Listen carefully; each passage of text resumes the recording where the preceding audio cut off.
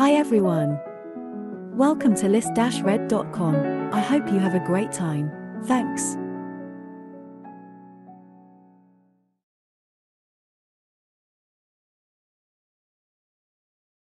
A Court of Thorns and Roses by Sarah J. Maas. Chapter 1 The forest had become a labyrinth of snow and ice. I'd been monitoring the parameters of the thicket for an hour, and my vantage point in the crook of a tree branch had turned useless. The gusting wind blew thick flurries to sweep away my tracks, but buried along with them any signs of potential quarry. Hunger had brought me farther from home than I usually risked, but winter was the hard time. The animals had pulled in, going deeper into the woods than I could follow, leaving me to pick off stragglers one by one, praying they'd last until spring. They hadn't. I wiped my numb fingers over my eyes, brushing away the flakes clinging to my lashes. Here there were no telltale trees stripped of bark to mark the deer's passing they hadn't yet moved on. They would remain until the bark ran out, then travel north past the wolves' territory and perhaps into the fairy lands of Prythian where no mortals would dare go, not unless they had a death wish. A shudder skittered down my spine at the thought, and I shoved it away, focusing on my surroundings, on the task ahead. That was all I could do, all I'd been able to do for years focus on surviving the week, the day, the hour ahead. And now, with the snow, I'd be lucky to spot anything, especially from my position up in the tree, scarcely able to see 15 feet ahead. Stifling a groan as my stiff limbs protested at the movement, I unstrung my bow before easing off the tree. The icy snow crunched under my fraying boots, and I ground my teeth. Low visibility, unnecessary noise. I was well on my way to yet another fruitless hunt. Only a few hours of daylight remained. If I didn't leave soon, I'd have to navigate my way home in the dark, and the warnings of the town hunters still rang fresh in my mind. Giant wolves were on the prowl, and in numbers. Not to mention whispers of strange folk spotted in the area, tall and eerie and deadly. Anything but fairies, the hunters had beseeched our long forgotten gods, and I had secretly prayed alongside them.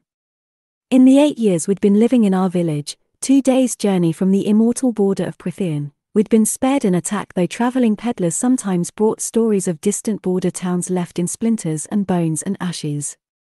These accounts, once rare enough to be dismissed by the village elders as hearsay, had in recent months become commonplace whisperings on every market day. I had risked much in coming so far into the forest, but we'd finished our last loaf of bread yesterday, and the remainder of our dried meat the day before.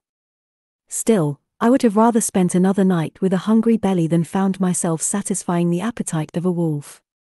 Or a fairy. Not that there was much of me to feast on. I turned gangly by this time of the year, and could count a good number of my ribs. Moving as nimbly and quietly as I could between the trees, I pushed a hand against my hollow and aching stomach. I knew the expression that would be on my two elder sisters' faces when I returned to our cottage empty handed yet again. After a few minutes of careful searching, I crouched in a cluster of snow heavy brambles. Through the thorns, I had a half decent view of a clearing and the small brook flowing through it. A few holes in the ice suggested it was still frequently used. Hopefully, something would come by. Hopefully. I sighed through my nose, digging the tip of my bow into the ground, and leaned my forehead against the crude curve of wood. We wouldn't last another week without food. And too many families had already started begging for me to hope for handouts from the wealthier townsfolk. I'd witnessed firsthand exactly how far their charity went. I eased into a more comfortable position and calmed my breathing, straining to listen to the forest over the wind.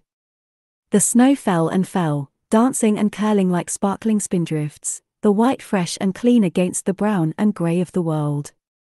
And despite myself, despite my numb limbs, I quieted that relentless, vicious part of my mind to take in the snow veiled woods. Once it had been second nature to savor the contrast of new grass against dark, tilled soil, or an amethyst brooch nestled in folds of emerald silk. Once I dreamed and breathed and thought in color and light and shape. Sometimes I would even indulge in envisioning a day when my sisters were married and it was only me and father, with enough food to go around, enough money to buy some paint, and enough time to put those colors and shapes down on paper or canvas or the cottage walls. Not likely to happen anytime soon, perhaps ever. So I was left with moments like this, admiring the glint of pale winter light on snow. I couldn't remember the last time I'd done it bothered to notice anything lovely or interesting. Stolen hours in a decrepit barn with Isaac Hale didn't count, those times were hungry and empty and sometimes cruel, but never lovely. The howling wind calmed into a soft sighing. The snow fell lazily now, in big, fat clumps that gathered along every nook and bump of the trees. Mesmerizing the lethal, gentle beauty of the snow. I'd soon have to return to the muddy, frozen roads of the village, to the cramped heat of our cottage, some small, fragmented part of me recoiled at the thought. Bushes rustled across the clearing. Drawing my bow was a matter of instinct. I peered through the thorns, and my breath caught.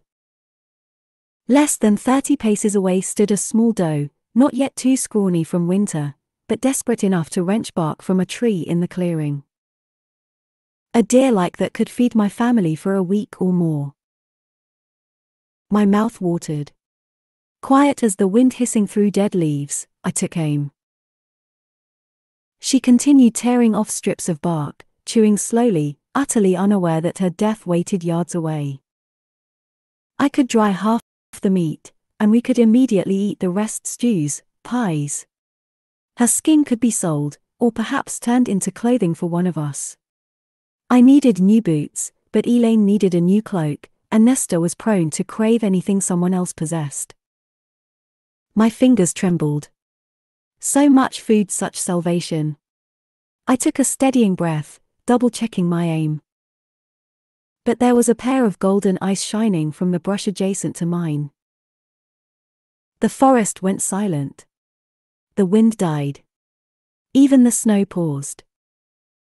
We mortals no longer kept gods to worship, but if I had known their lost names, I would have prayed to them.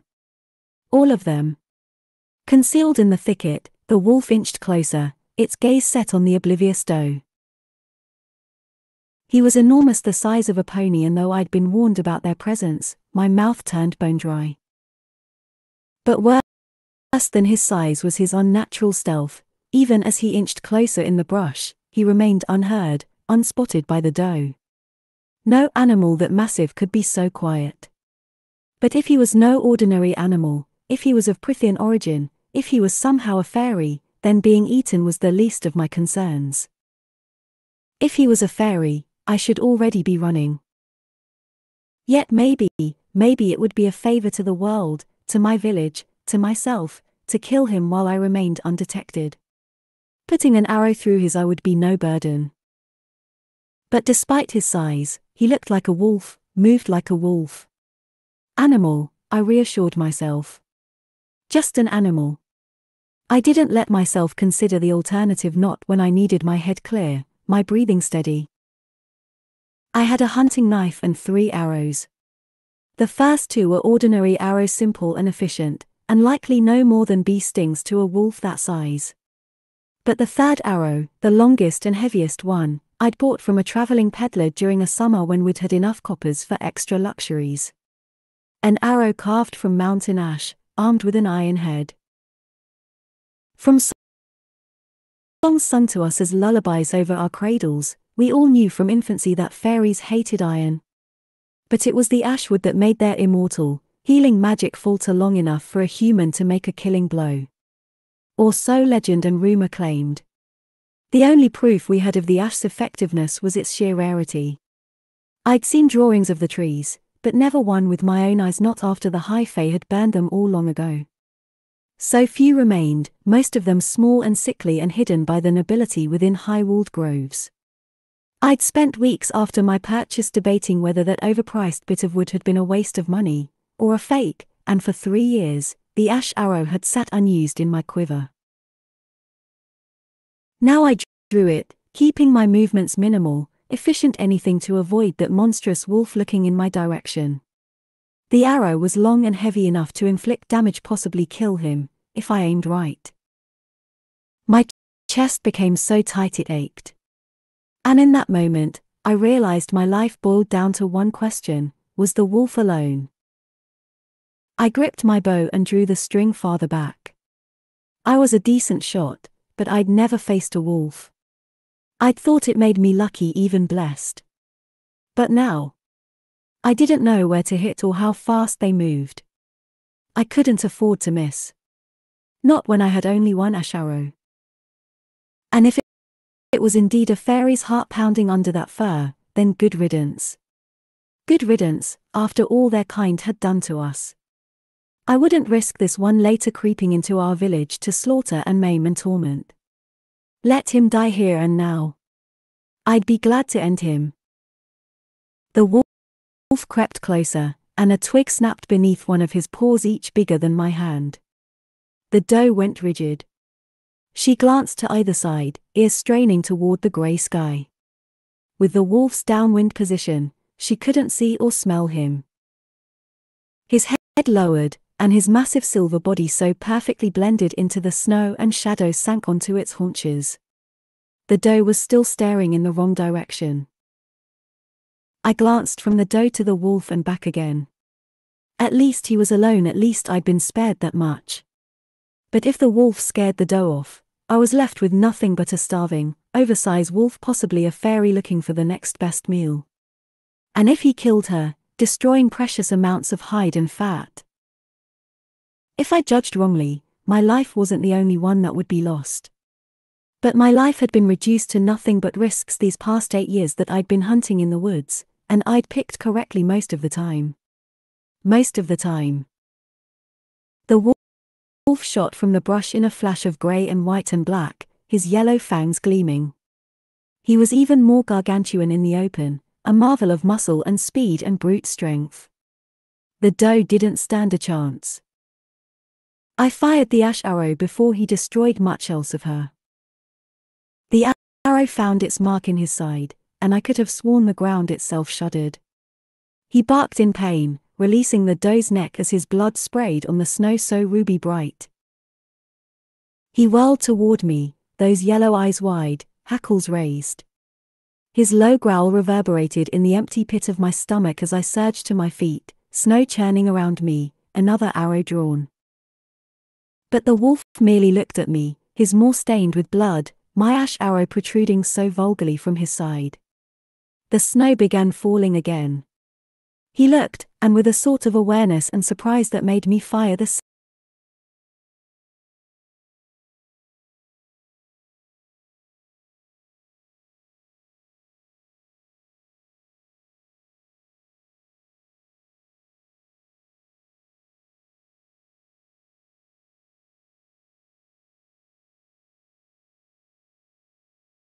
second arrow. Just in case, just in case that intelligence was of the immortal, wicked sort. He didn't try to dodge the arrow as it went clean through his wide yellow eye. He collapsed to the ground. Color and darkness whirled, eddying in my vision, mixing with the snow. His legs were twitching as a low whine sliced through the wind. Impossible he should be dead, not dying. The arrow was through his eye almost to the goose fletching. But wolf or fairy, it didn't matter. Not with that ash arrow buried in his side. He'd be dead soon enough. Still, my hands shook as I brushed off snow and edged closer, still keeping a good distance. Blood gushed from the wounds I'd given him, staining the snow crimson. He pawed at the ground, his breathing already slowing. Was he in much pain, or was his whimper just his attempt to shove death away? I wasn't sure I wanted to know.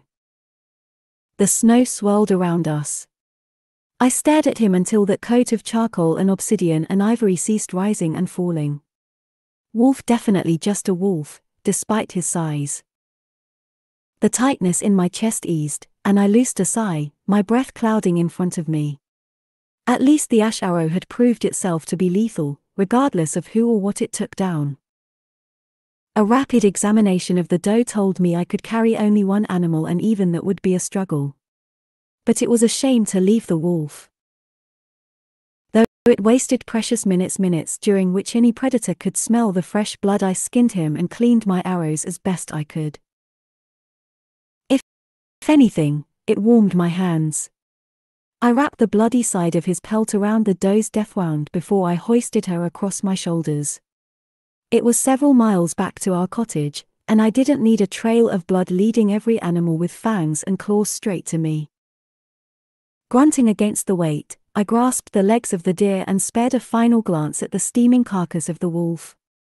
His remaining golden eye now stared at the snow heavy sky, and for a moment, I wished I had it in me to feel remorse for the dead thing.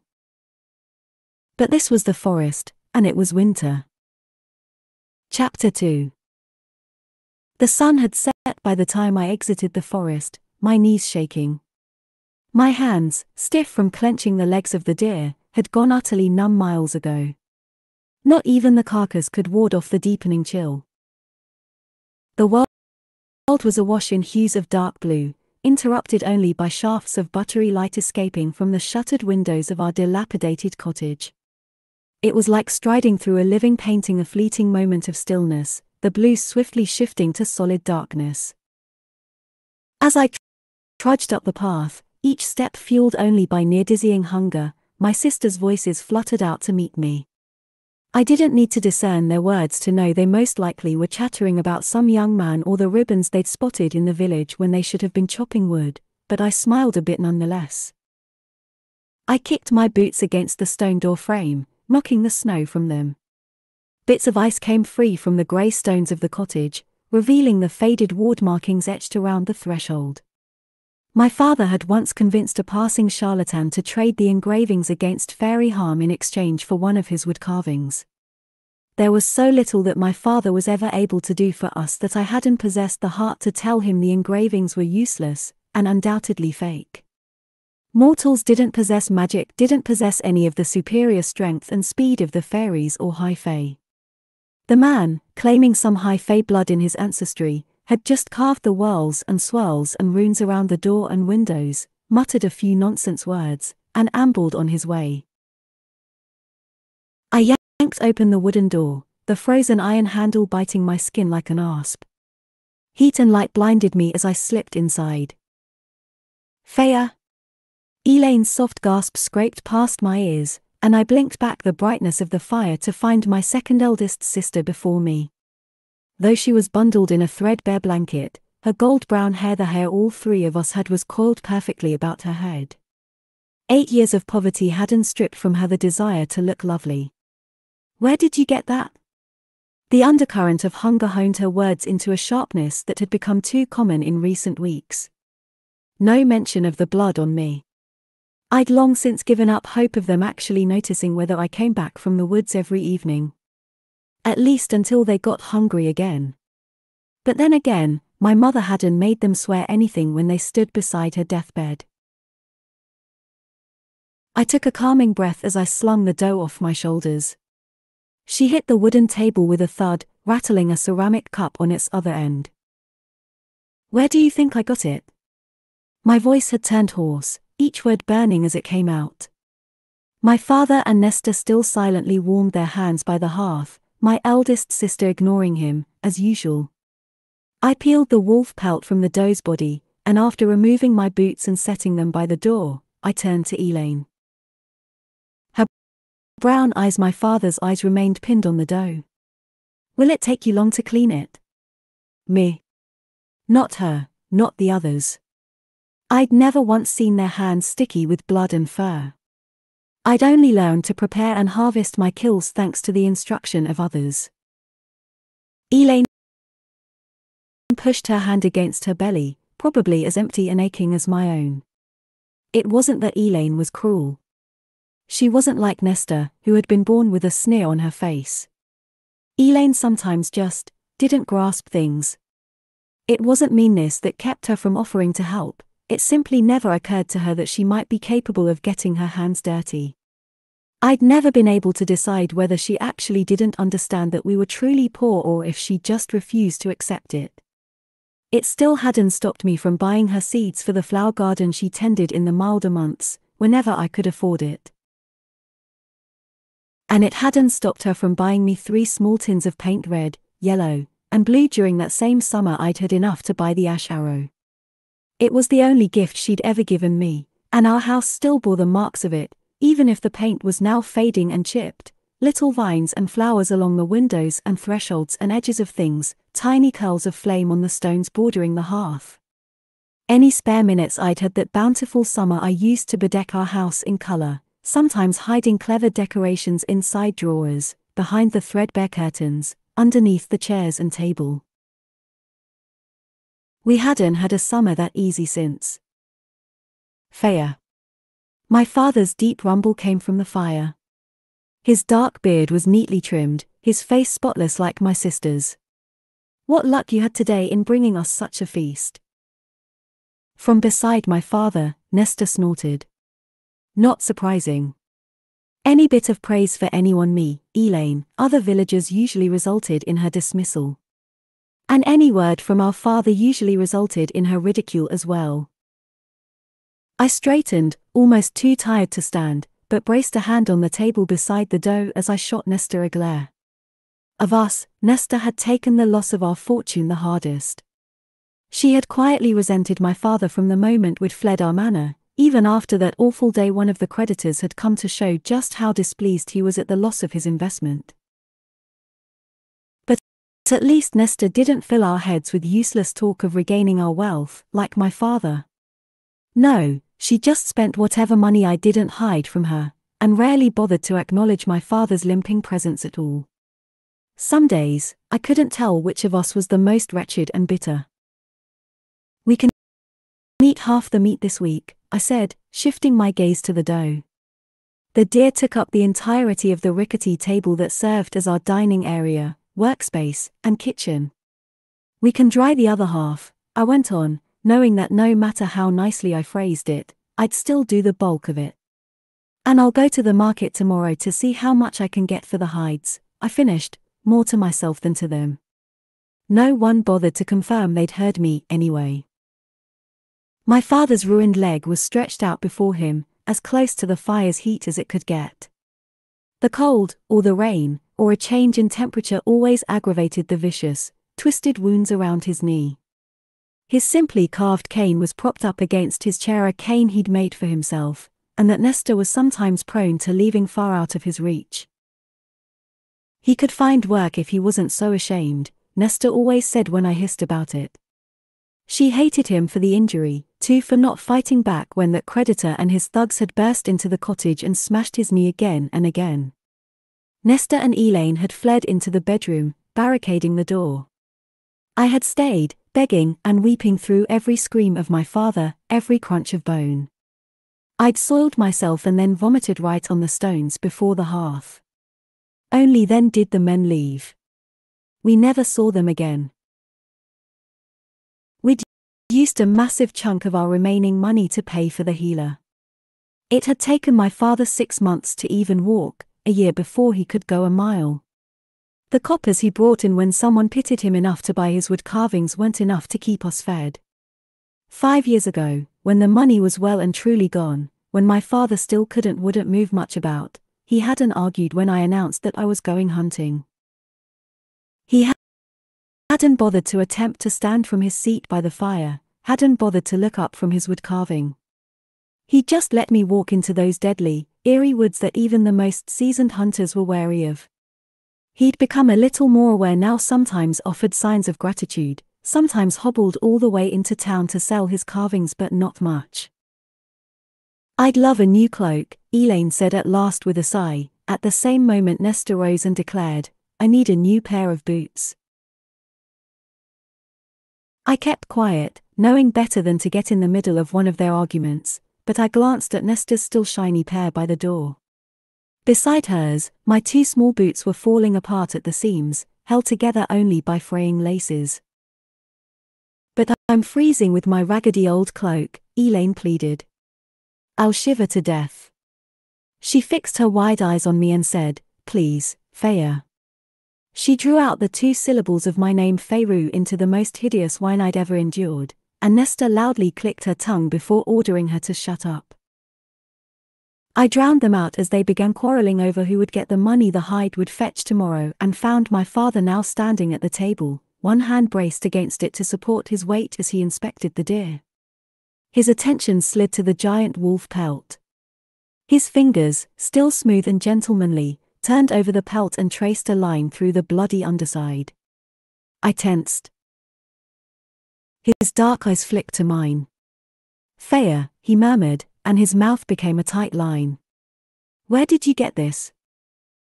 The same place I got the deer, I replied with equal quiet, my words cool and sharp. His gaze travelled over the bow and quiver strapped to my back, the wooden hilt hunting knife at my side. His eyes turned damp. Feyre, the risk.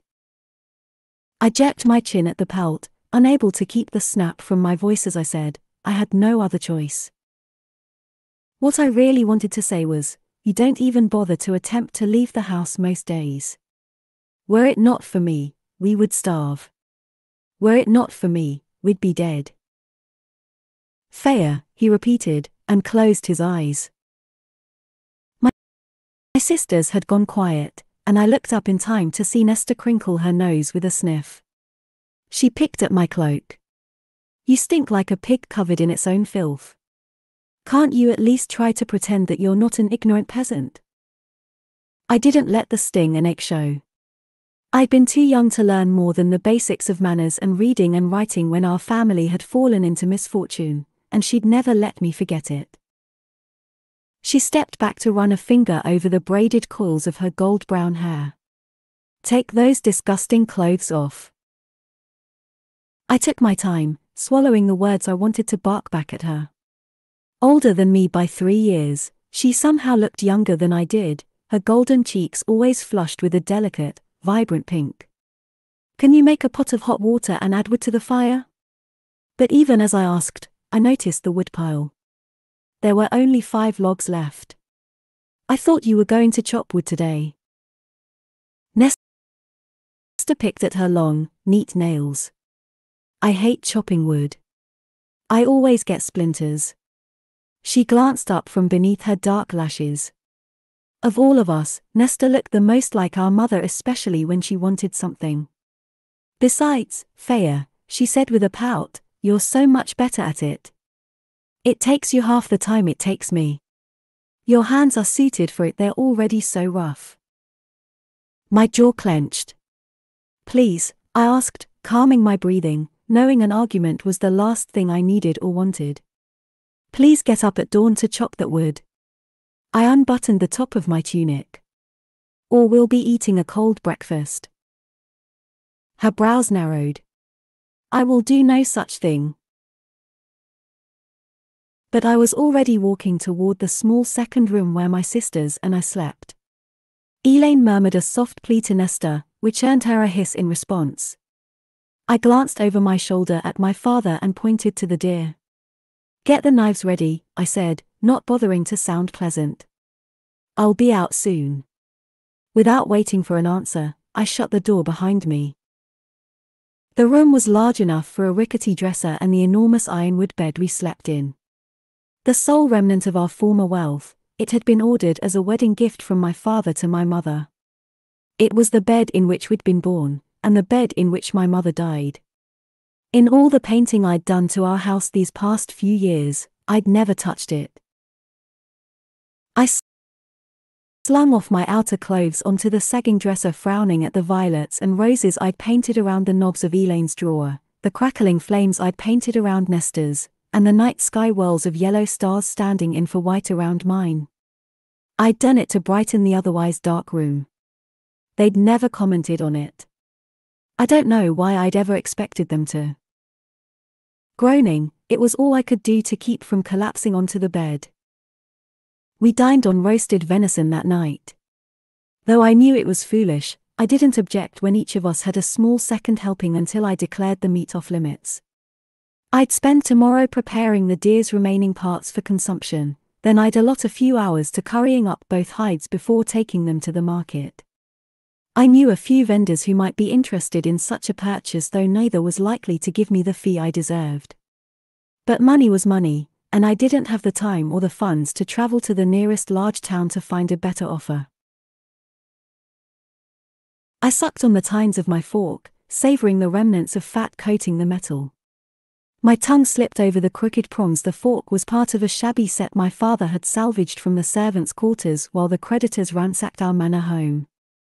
None of our utensils matched, but it was better than using our fingers. My mother's dowry flatware had long since been sold. My mother. Imperious and cold with her children, joyous and dazzling among the peerage who frequented our former estate, doting on my father, the one person whom she truly loved and respected. But she also had truly loved parties so much so that she didn't have time to do anything with me at all save contemplate how my budding abilities to sketch and paint might secure me a future husband. Had she lived long enough to see our wealth crumble, she would have been shattered by it more so than my father. Perhaps it was a merciful thing that she died. If anything, it left more food for us.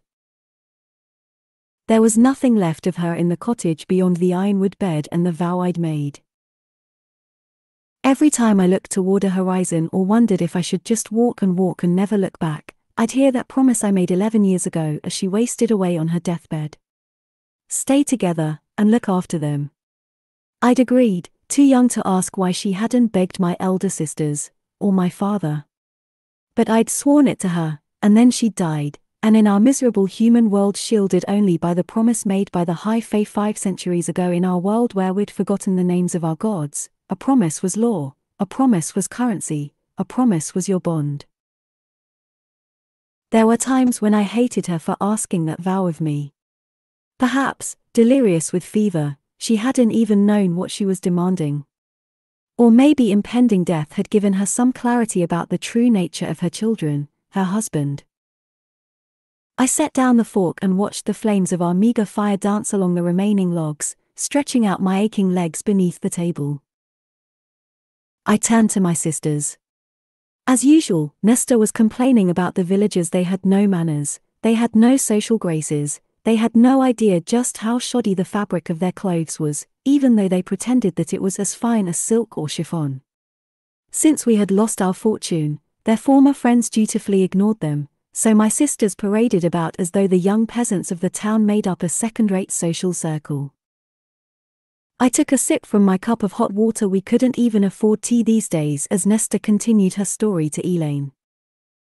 Well, well, I said to him, if you think you can just ask me so nonchalantly, sir, I'm going to decline. And you know what Tomas said? Arms braced on the table and eyes wide, Elain shook her head. Tomas Mandray. I interrupted. The woodcutter's second son. Nesta's blue-grey eyes narrowed. Yes, she said, and shifted to address Elain again. What does he want? I glanced at my father. No reaction, no hint of alarm or sign that he was even listening. Lost to whatever fog of memory had crept over him, he was smiling mildly at his beloved Elain, the only one of us who bothered to really speak to him at all. He wants to marry her, Elain said dreamily. I blinked. Nesta cocked her head. I'd seen Predator's use that movement before. I sometimes wondered if her unrelenting steel would have helped us better survive thrive, even if she hadn't been so preoccupied with our lost status. Is there a problem, Feyre? She flung my name like an insult, and my jaw ached from clenching it so hard. My father shifted in his seat, blinking, and though I knew it was foolish to react to her taunts, I said, You can't chop wood for us, but you want to marry a woodcutter's son. Nesta squared her shoulders.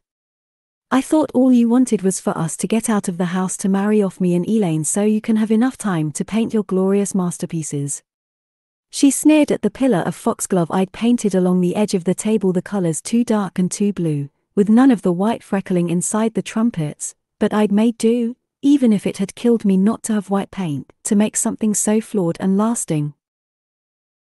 I drowned the urge to cover up the painting with my hand. Maybe tomorrow I'd just scrape it off the table altogether. Believe me, I said to her, the day you want to marry someone worthy, I'll march up to his house and hand you over. But you're not going to marry Tomas. Nesta's nostrils delicately flared. There's nothing you can do. Clare Beddor told me this afternoon that Tomas is going to propose to me any day now. And then I'll never have to eat these scraps again. She added with a small smile, At least I don't have to resort to rotting in the hay with Isaac Hale like an animal.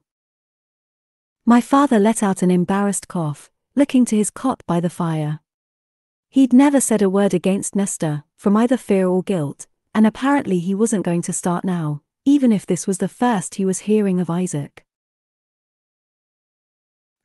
I laid my palms flat on the table as I stared her down. Elain removed her hand from where it lay nearby, as if the dirt and blood beneath my fingernails would somehow jump onto her porcelain skin. Tomas's family is barely better off than ours, I said, trying to keep from growling.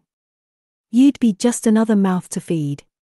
If he doesn't know this, then his parents must. But Tomas knew we'd run into each other in the forest before. I'd seen the gleam of desperate hunger in his eyes when he spotted me sporting a brace of rabbits.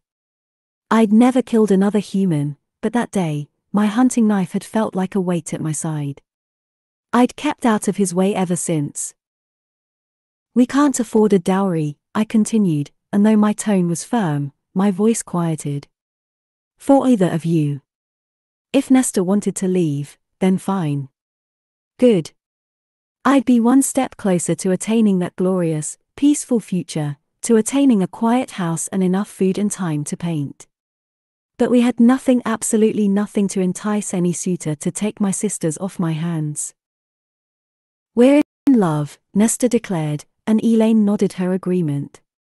I almost laughed when had they gone from mooning over Aristus to making doe eyes at peasants.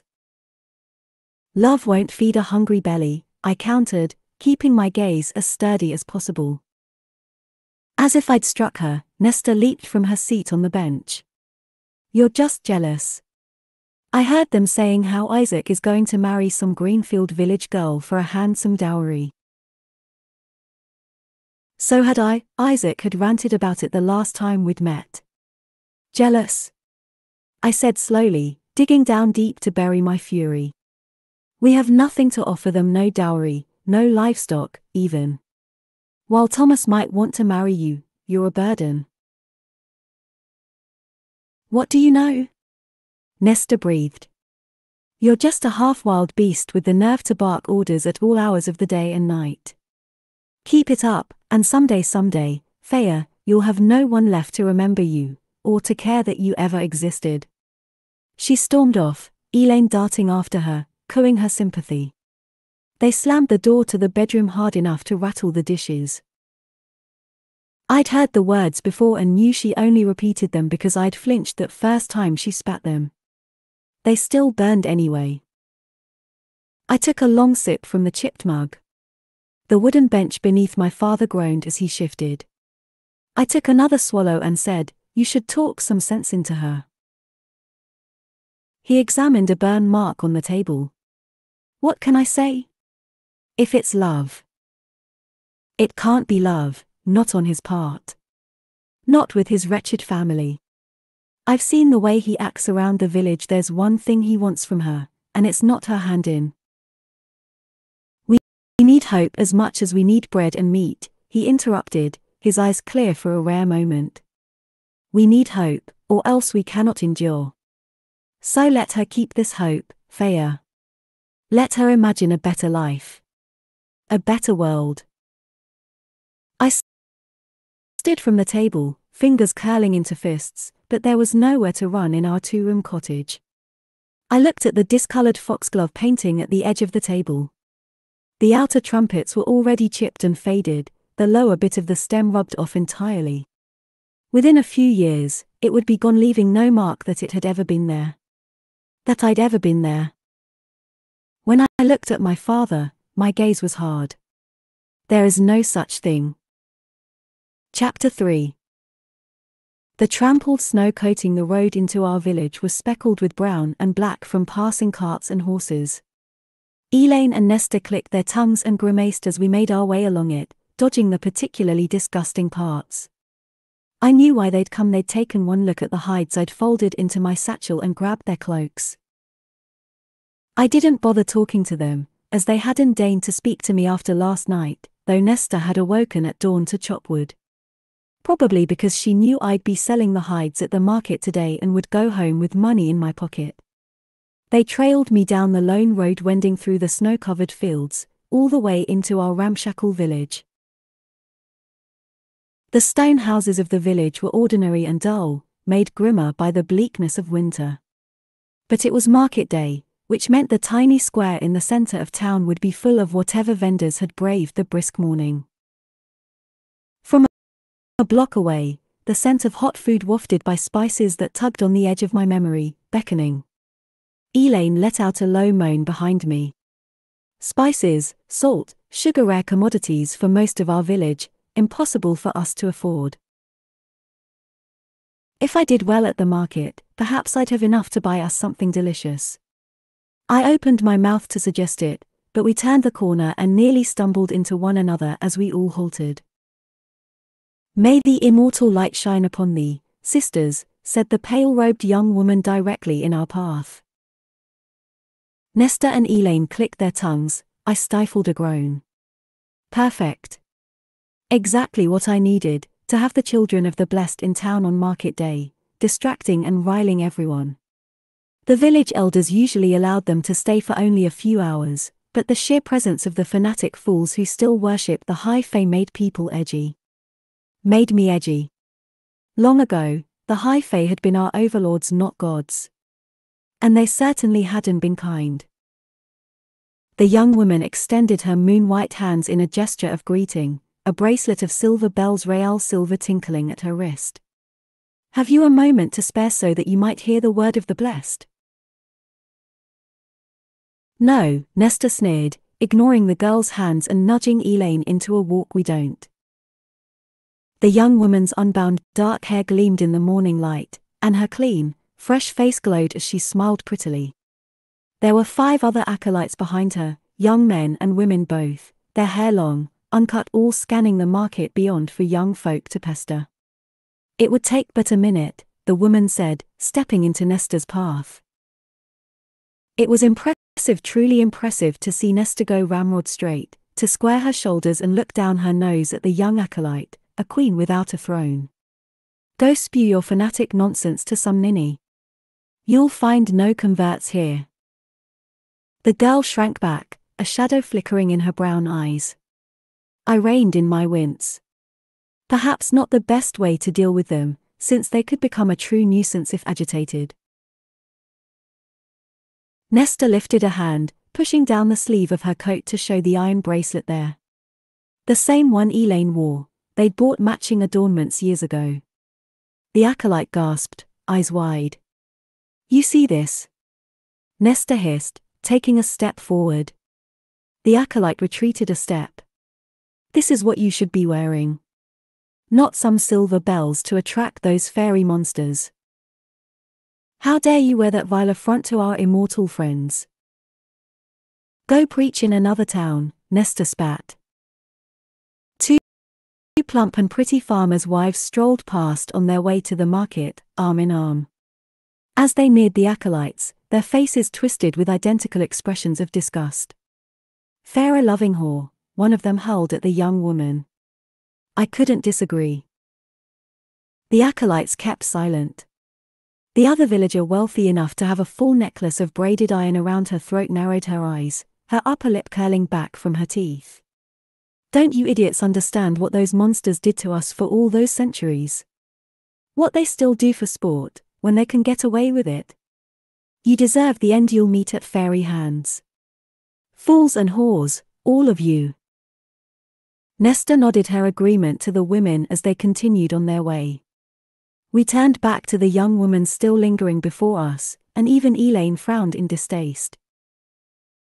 But the young woman took a breath, her face again becoming serene, and said, I lived in such ignorance, too, until I heard the word of the blessed. I grew up in a village so similar to this, so bleak and grim. But not one month ago, a friend of my cousin went to the border as our offering to Prythian and she has not been sent back. Now she dwells in riches and comfort as a high phase bride, and so might you, if you were to take a moment to. She was likely eaten, Nesta said. That's why she hasn't returned. Or worse, I thought, if a high fae truly was involved in spiriting a human into Prythian. I'd never encountered the cruel, human-looking high fae who ruled Prythian itself, or the fairies who occupied their lands, with their scales and wings and long, spindly arms that could drag you deep, deep beneath the surface of a forgotten pond. I didn't know which would be worse to face. The acolyte's face tightened. Our benevolent masters would never harm us. Prythian is a land of peace and plenty. Should they bless you with their attention, you would be glad to live amongst them. Nesta rolled her eyes. Elain was shooting glances between us and the market ahead to the villagers now watching, too. Time to go. Nesta opened her mouth again, but I stepped between them and ran an eye along the girl's pale blue robes, the silver jewelry on her, the utter cleanness of her skin. Not a mark or smudge to be found. You're fighting an uphill battle, I said to her. A worthy cause. The girl beamed beatifically. I gave Nesta a gentle push to get her walking and said to the acolyte, No, it's not. I could feel the acolyte's attention still fixed on us as we strode into the busy market square, but I didn't look back. They'd be gone soon enough, off to preach in another town. We'd have to take the long way out of the village to avoid them. When we were far enough away, I glanced over a shoulder at my sisters. Elain's face remained set in a wince, but Nesta's eyes were stormy, her lips thin. I wondered if she'd stomp back to the girl and pick a fight. Not my problem, not right now. I'll meet you here in an hour, I said, and didn't give them time to cling to me before slipping into the crowded square. It took me 10 minutes to contemplate my three options. There were my usual buyers, the weathered cobbler and the sharp-eyed clothier who came to our market from a nearby town. And then the unknown, a mountain of a woman sitting on the lip of our broken square fountain, without any cart or stall, but looking like she was holding court nonetheless. The scars and weapons on her marked her easily enough. A mercenary. I could feel the eyes of the cobbler and clothier on me, sense their feigned disinterest as they took in the satchel I bore. Fine it would be that sort of day, then. I approached the mercenary, whose thick, dark hair was shorn to her chin. Her tan face seemed hewn of granite, and her black eyes narrowed slightly at the sight of me.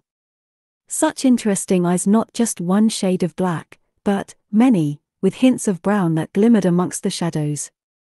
I pushed against that useless part of my mind, the instincts that had me thinking about color and light and shape, and kept my shoulders back as she assessed me as a potential threat or employer. The weapons on her gleaming and wicked were enough to make me swallow. And stop a good two feet away. I don't barter goods for my services, she said, her voice clipped with an accent I'd never heard before. I only accept coin. A few passing villagers tried their best not to look too interested in our conversation, especially as I said, then you'll be out of luck in this sort of place. She was massive even sitting down. What is your business with me, girl?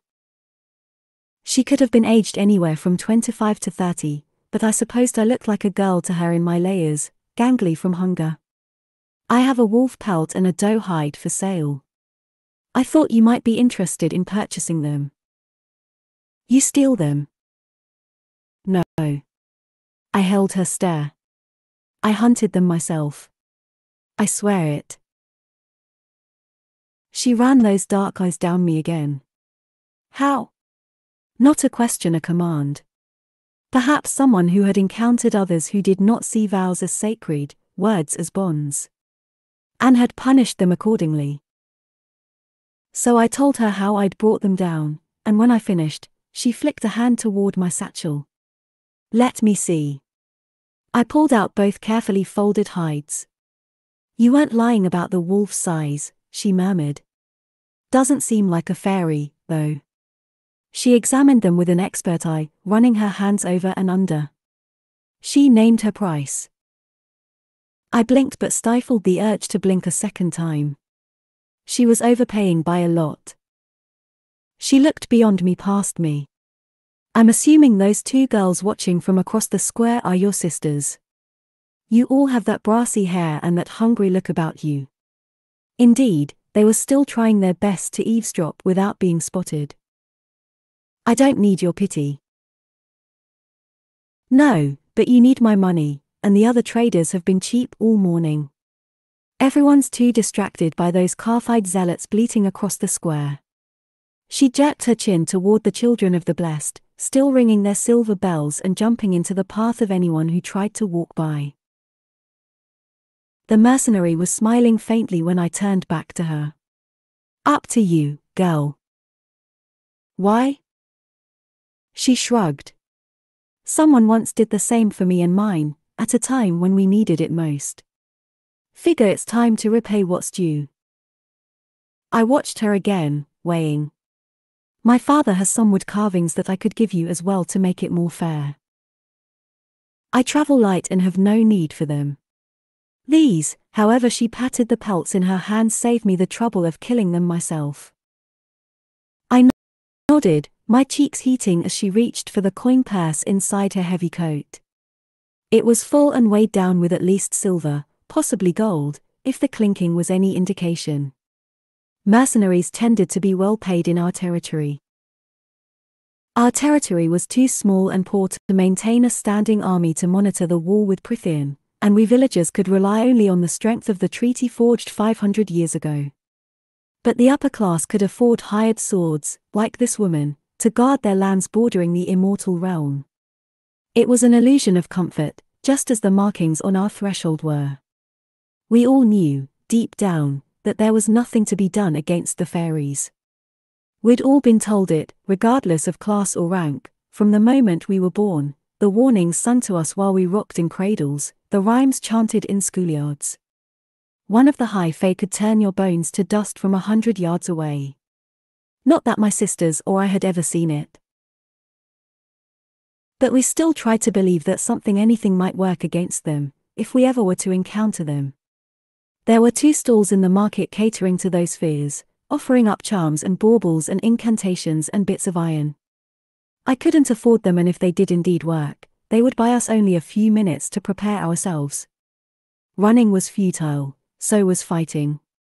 But Nesta and Elain still wore their iron bracelets whenever they left the cottage. Even Isaac had an iron cuff around one wrist, always tucked under his sleeve. He'd once offered to buy me one, but I'd refused. It had felt too personal, too much like payment, too permanent a reminder of whatever we were and weren't to each other. The mercenary transferred the coins to my waiting palm, and I tucked them into my pocket, their weight as heavy as a millstone.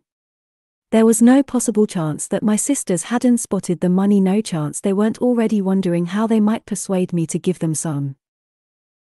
Thank you, I said to the mercenary, trying and failing to keep the bite from my voice as I felt my sisters sweep closer, like vultures circling a carcass. The mercenary stroked the wolf pelt. A word of advice, from one hunter to another. I lifted my brows. Don't go far into the woods. I wouldn't even get close to where you were yesterday. A wolf this size would be the least of your problems. More and more, I've been hearing stories about those things slipping through the wall. A chill spider walked down my spine. Are they are they going to attack? If it were true, I'd find a way to get my family off our miserable, damp territory and head south head far from the invisible wall that bisected our world before they could cross it. Long ago and for millennia before that we had been slaves to fae overlords. Once, we had built them glorious, sprawling civilizations from our blood and sweat, built them temples to their feral gods. Once, we had rebelled, across every land and territory. The war had been so bloody, so destructive, that it took six mortal queens crafting the treaty for the slaughter to cease on both sides and for the wall to be constructed. The north of our world conceded to the high fae and fairies, who took their magic with them, the south to we cowering mortals, forever forced to scratch out a living from the earth. No one knows what the Fae are planning, the mercenary said, her face like stone. We don't know if the High Lord's leash on their beasts is slipping, or if these are targeted attacks. I guarded for an old nobleman who claimed it had been getting worse these past 50 years. He got on a boat south two weeks ago and told me I should leave if I was smart. Before he sailed off, he admitted that he'd had word from one of his friends that in the dead of night, a pack of Martax crossed the wall and tore half his village apart. Martax? I breathed. I knew there were different types of fairies, that they varied as much as any other species of animal, but I knew only a few by name. The mercenary's night dark eyes flickered. Body big as a bear's, head something like a lion's, and three rows of teeth sharper than a shark's. And mean meaner than all three put together. They left the villagers in literal ribbons, the nobleman said. My stomach turned. Behind us, my sisters seemed so fragile, their pale skin so infinitely delicate and shreddable against something like the Martax, we'd never stand a chance. Those children of the blessed were fools, fanatic fools. So, we don't know what all these attacks mean, the mercenary went on, other than more hires for me, and you keeping well away from the wall. Especially if the high face start turning up or worse, one of the high lords. They would make the Martax seem like dogs. I studied her scarred hands, chapped from the cold. Have you ever faced another type of fairy? Her eyes shuttered. You don't want to know, girl, not unless you want to be hurling up your breakfast. I was indeed feeling ill, ill and jumpy. Was it deadlier than the Martax? I dared ask. The woman pulled back the sleeve of her heavy jacket, revealing a tanned, muscled forearm flecked with gruesome, twisted scars. The arc of them so similar to didn't have the brute force or size of a martax, she said, but its bite was full of poison. Two months that's how long I was down, for months until I had the strength to walk again. She pulled up the leg of her trousers. Beautiful, I thought, even as the horror of it writhed in my gut. Against her tan skin, the veins were black solid black, spiderwebbed, and creeping like frost. Healer said there was nothing to be done for it that I'm lucky to be walking with the poison still in my legs. Maybe it'll kill me one day, maybe it'll cripple me. But at least I'll go knowing I killed it first. The blood in my own veins seemed to chill as she lowered the cuff of her pants. If anyone in the square had seen, no one dared speak about it or to come closer. And I'd had enough for one day. So I took a step back, steadying myself against what she'd told me and shown me.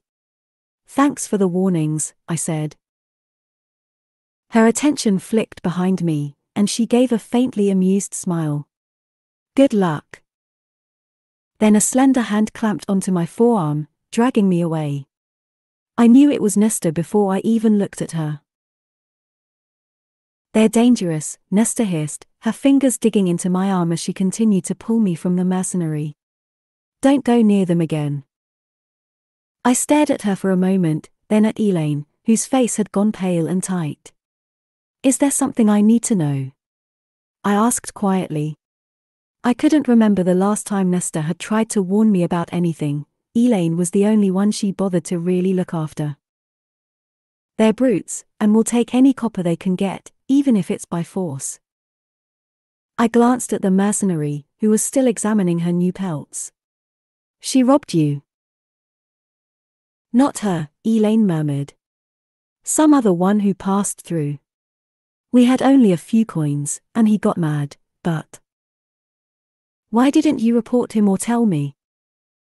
What could you have done? Nesta sneered. Challenged him to a fight with your bow and arrows. And who in this sort of a town would even care if we reported anything? What about your Tomas Mandray? I said coolly. Nesta's eyes flashed, but a movement behind me caught her eye, and she gave me what I supposed was her attempt at a sweet smile, probably as she remembered the money I now carried.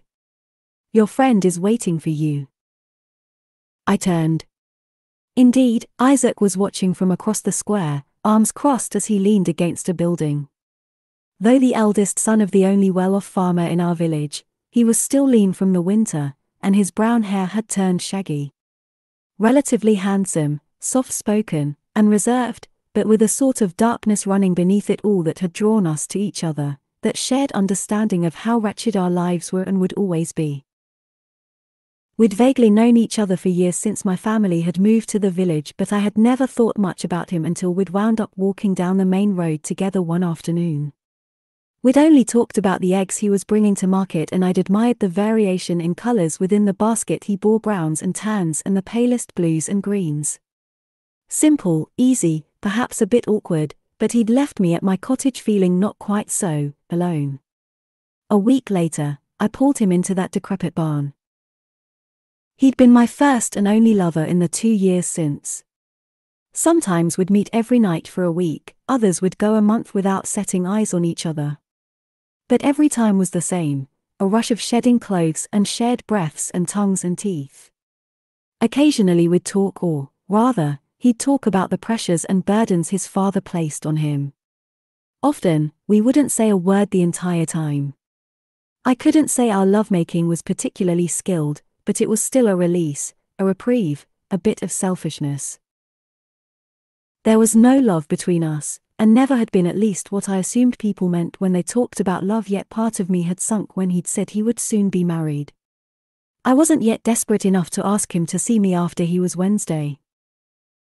Isaac inclined his head in a familiar gesture and then ambled off down the street out of town and to the ancient barn, where he would be waiting.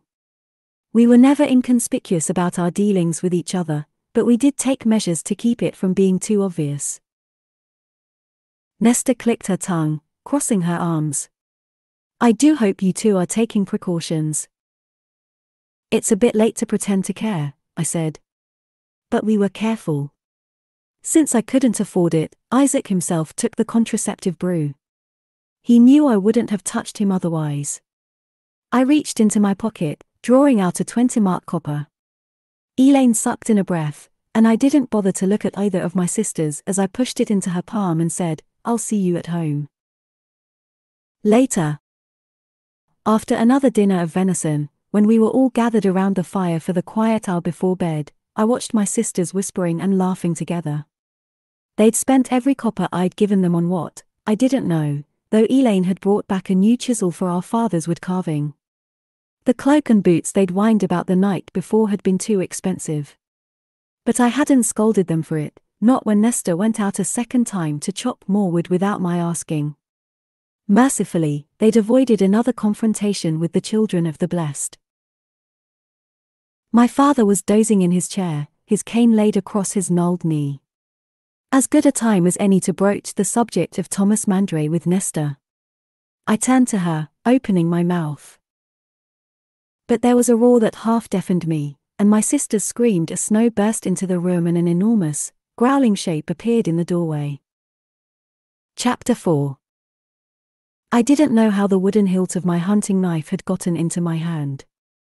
The first few moments were a blur of the snarling of a gigantic beast with golden fur, the shrieking of my sisters, the blistering cold cascading into the room, and my father's terror stricken face. Not a axe, I realized though the relief was short lived. The beast had to be as large as a horse, and while his body was somewhat feline, his head was distinctly wolfish. I didn't know what to make of the curled, elk like horns that protruded from his head. But lion or hound or elk, there was no doubting the damage his black, dagger like claws and yellow fangs could inflict. Had I been alone in the woods, I might have let myself be swallowed by fear, might have fallen to my knees and wept for a clean, quick death.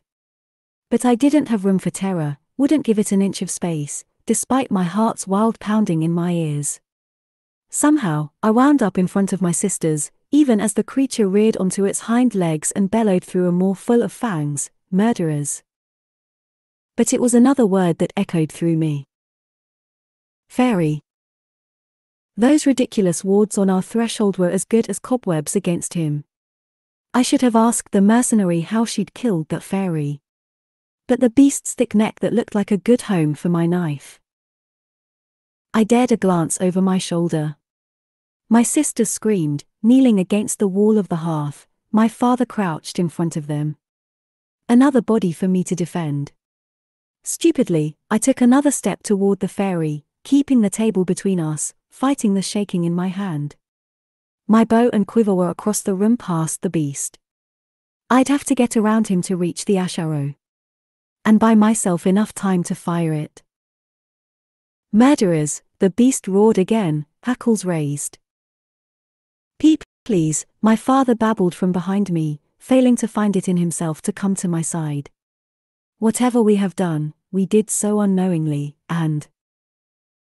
WWE didn't kill anyone, Nesta added, choking on her sobs, arm lifted over her head, as if that tiny iron bracelet would do anything against the creature. I snatched another dinner knife off the table, the best I could do unless I found a way to get to the quiver. Get out, I snapped at the creature, brandishing the knives before me. No iron in sight that I could use as a weapon unless I chucked my sister's bracelets at him. Get out, and begone. With my trembling hands, I could barely keep my grip on the hilts. A nail I'd take a damned iron nail, if it were available. He bellowed at me in response, and the entire cottage shook, the plates and cups rattling against one another. But it left his massive neck exposed. I held my hunting knife. Fast so fast I could barely see it he slashed out with a paw, sending it skittering away as he snapped for my face with his teeth. I leaped back, almost stumbling over my cowering father. The fairy could have killed me could have, yet the lunch had been a warning. Nesta and Elain, weeping, prayed to whatever long forgotten gods might still be skulking about. Who killed him? The creature stalked toward us. He set a paw on the table, and it groaned beneath him. His claws thudded as they embedded in the wood, one by one.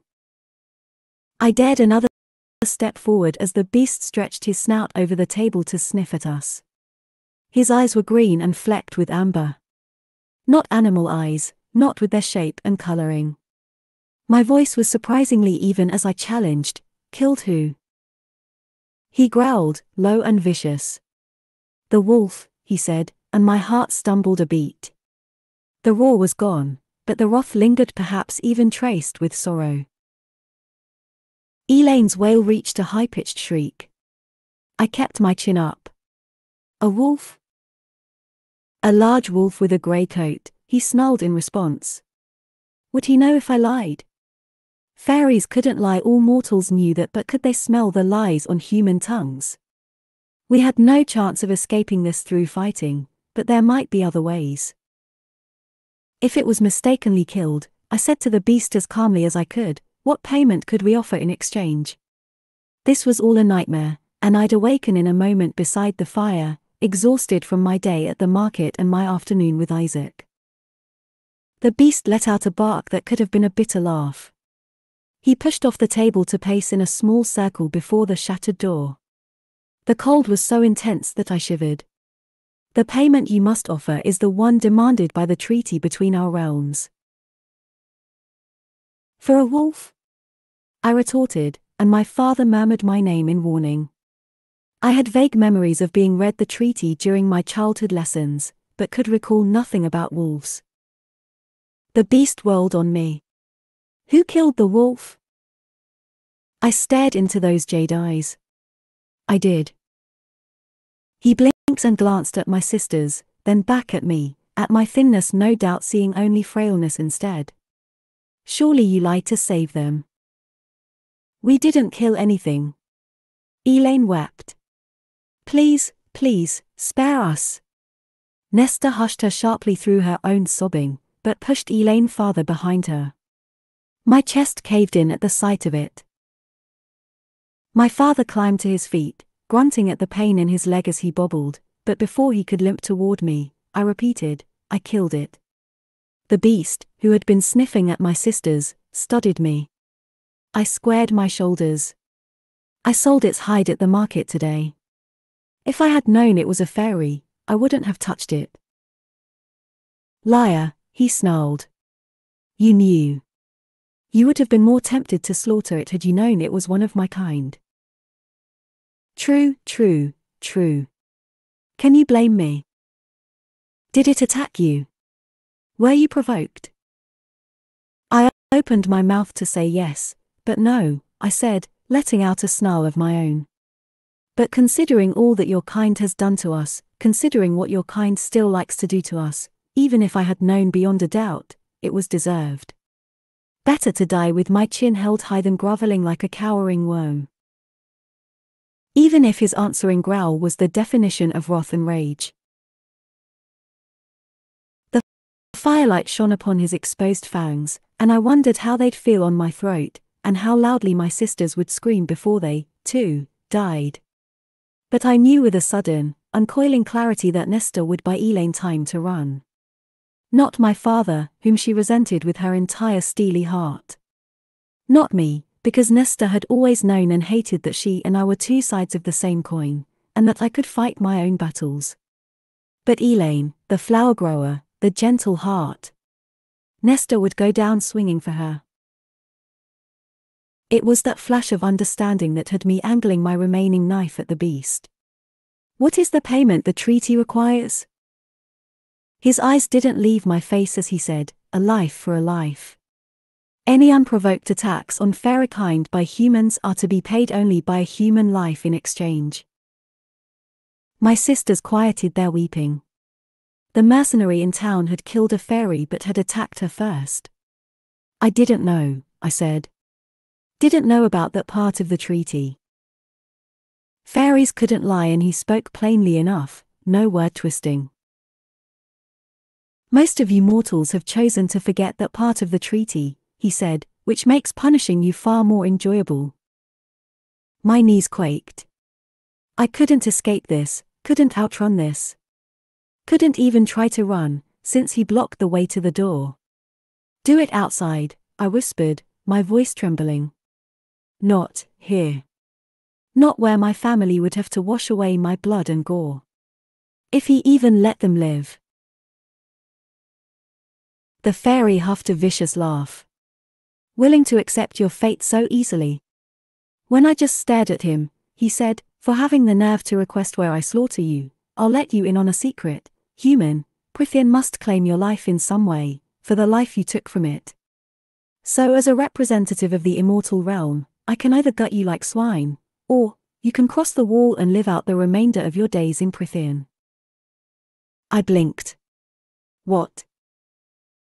He said slowly, as if I were indeed as stupid as a swine, you can either die tonight or offer your life to Prythian by living in it forever, forsaking the human realm. Do it, Feyre, my father whispered from behind me. Go. I didn't look at him as I said, live where? Every inch of Prythian is lethal to us. I'd be better off dying tonight than living in pure terror across the wall until I met my end in doubtlessly an even more awful way. I have lands, the fairy said quietly, almost reluctantly. I will grant you permission to live there. Why bother? Perhaps a fool's question, but. You murdered my friend, the beast snarled. Murdered him, skinned his corpse, sold it at the market, and then said he deserved it, and yet you have the nerve to question my generosity. How typically human, he seemed to silently add. You didn't need to mention the loophole. I stepped so close the fairy's breath heated my face. Fairies couldn't lie, but they could emit information.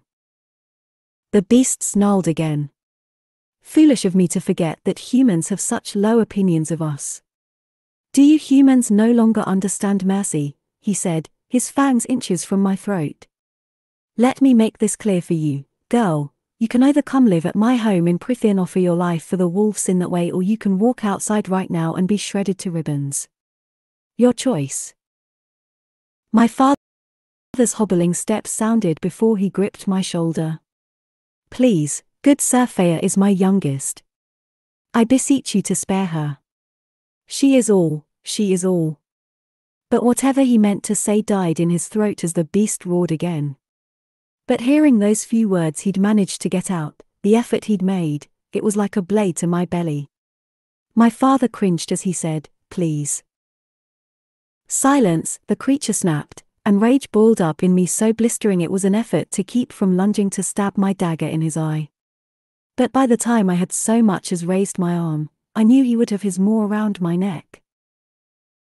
I can get gold, my father said, and my rage guttered. The only way he would get money was by begging. Even then, he'd be lucky to get a few coppers. I'd seen how pitiless the well off were in our village.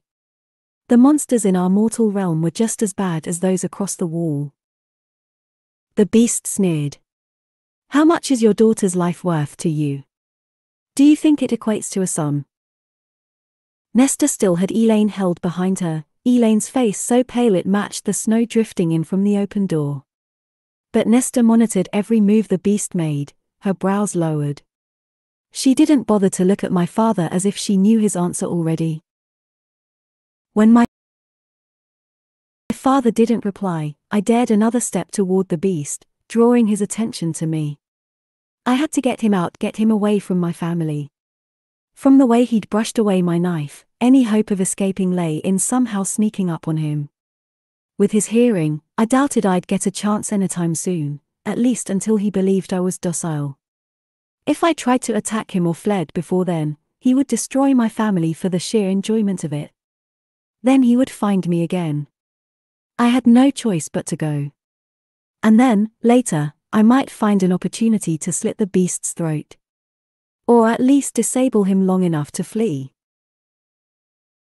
As long as the fairies couldn't find me again, they couldn't hold me to the treaty. Even if it made me a cursed oathbreaker. But in going with him, I would be breaking the most important promise I'd ever made. Surely it trumped an ancient treaty that I hadn't even signed. I loosened my grip on the hilt of my remaining dagger and stared into those green eyes for a long, silent while before I said, When do we go? Those lupine features remained fierce vicious. Any lingering hope I had of fighting died as he moved to the door no, to the quiver I'd left behind it. He pulled out the ash arrow, sniffed, and snarled at it. With two movements, he snapped it in half and chucked it into the fire behind my sisters before turning back to me. I could smell my doom on his breath as he said, Now. Now. Even Elain lifted her head to gape at me in mute horror. But I couldn't look at her, couldn't look at Nesta not when they were still crouched there, still silent. I turned to my father. His eyes glistened, so I glanced to the few cabinets we had, faded two yellow daffodils curving over the handles. Now. The beast paced in the doorway. I didn't want to contemplate where I was going or what he would do with me. Running would be foolish until it was the right time. The venison should hold you for two weeks, I said to my father as I gathered my clothes to bulk up against the cold. Start on the fresh meat, then work your way through to the jerky you know how to make it. Feyre my father breathed, but I continued as I fastened my cloak. I left the money from the pelts on the dresser, I said. It will last you for a time, if you're careful. I finally looked at my father again and allowed myself to memorize the lines of his face. My eyes stung, but I blinked the moisture away as I stuffed my hands into my worn gloves. When spring comes, hunt in the grove just south of the Big Bend in Silver Spring Creek. The rabbits make their warrens there. Ask, ask Isaac Hale to show you how to make snares. I taught him last year. My father nodded, covering his mouth with a hand. The beast growled his warning and prowled out into the night. I made to follow him but paused to look at my sisters, still crouched by the fire, as if they wouldn't dare to move until I was gone. Elain mouthed my name but kept cowering, kept her head down. So I turned to Nesta, whose face was so similar to my mother's, so cold and unrelenting. Whatever you do, I said quietly, don't marry Tomas Mandray. His father beats his wife, and none of his sons do anything to stop it. Nesta's eyes widened, but I added, bruises are harder to conceal than poverty. Nesta stiffened but said nothing. Both of my sisters said absolutely nothing as I turned toward the open door. But a hand wrapped around my arm, tugging me into a stop. Turning me around to face him, my father opened and closed his mouth. Outside, the beast, sensing I'd been detained, sent a snarl rumbling into the cottage. Feyre, my father said. His fingers trembled as he grasped my gloved hands, but his eyes became clearer and bolder than I'd seen them in years. You are always too good for here, Feyre. Too good for us, too good for everyone. He squeezed my hands. If you ever escape, ever convince them that you've paid the debt, don't return. I hadn't expected a heart wrenching goodbye, but I hadn't imagined this, either. Don't ever come back, my father said, releasing my hands to shake me by the shoulders. Feyre. He stumbled over my name, his throat bobbing. You go somewhere new and you make a name for yourself. Beyond, the beast was just a shadow. A life for a life, but what if the life offered as payment also meant losing three others? The thought alone was enough to steel me, anchor me. I'd never told my father of the promise I'd made my mother, and there was no use explaining it now. So I shrugged off his grip and left. I let the sounds of the snow crunching underfoot drive out my father's words as I followed the beast to the night shrouded woods. Chapter 5 Every step toward the line of trees was too swift, too light, too soon carrying me to whatever torment and misery awaited. I didn't dare look back at the cottage. We entered the line of trees. Darkness beckoned beyond. But a white mare was patiently waiting unbound beside a tree, her coat like fresh snow in the moonlight. She only lowered her head as if in respect, of all things as the beast lumbered up to her. He motioned with a giant paw for me to mount. Still the horse remained calm, even as he passed close enough to gut her in one swipe. It had been years since I'd ridden, and I'd only ridden a pony at that, but I savored the warmth of the horse against my half-frozen body as I climbed into the saddle and she set into a walk. Without light to guide me, I let her trail the beast. They were nearly the same size. I wasn't surprised when we headed northward toward fairy territory though my stomach clenched so tightly it ached. Live with him. I could live out the rest of my mortal life on his lands. Perhaps this was merciful, but then, he hadn't specified in what manner, exactly, I would live. The treaty forbade fairies from taking us as slaves, but perhaps that excluded humans who'd murdered fairies. We'd likely go to whatever rift in the wall he'd used to get here, to steal me. And once we went through the invisible wall, once we were in Prythian, there was no way for my family to ever find me. I'd be little more than a lamb in a kingdom of wolves. Wolves wolf. Murdered a fairy. That was what I'd done. My throat went dry. I'd killed a fairy. I couldn't bring myself to feel badly about it. Not with my family left behind me to surely starve, not when it meant one less wicked, awful creature in the world. The beast had burned my ash arrow so I'd have to rely on luck to get even a splinter of the wood again, if I was to stand a chance of killing him. Or slowing him down. Knowledge of that weakness, of their susceptibility to ash, was the only reason we'd ever survived against the Fae during the ancient uprising, a secret betrayed by one of their own. My blood chilled further as I uselessly scanned for any signs of the narrow trunk and explosion of branches that I'd learned marked ash trees. I'd never seen the forest so still. Whatever was out there had to be tame compared to the beast beside me, despite the horse's ease around him. Hopefully he would keep other fairies away after we entered his realm. Prythian. The word was a death knell that echoed through me again and again. Lands he'd said he had lands, but what kind of dwelling? My horse was beautiful and its saddle was crafted of rich leather, which meant he had some sort of contact with civilized life. I'd never heard the specifics of what the lives of fairies or high fae were like, never heard much about anything other than their deadly abilities and appetites. I clenched the reins to keep my hands from shaking. There were few first hand accounts of Prythian itself. The mortals who went over the wall either willingly as tributes from the children of the blessed or stolen never came back. I'd learned most of the legends from villagers, though my father had occasionally offered up a milder tale or two on the nights he made an attempt to remember we existed.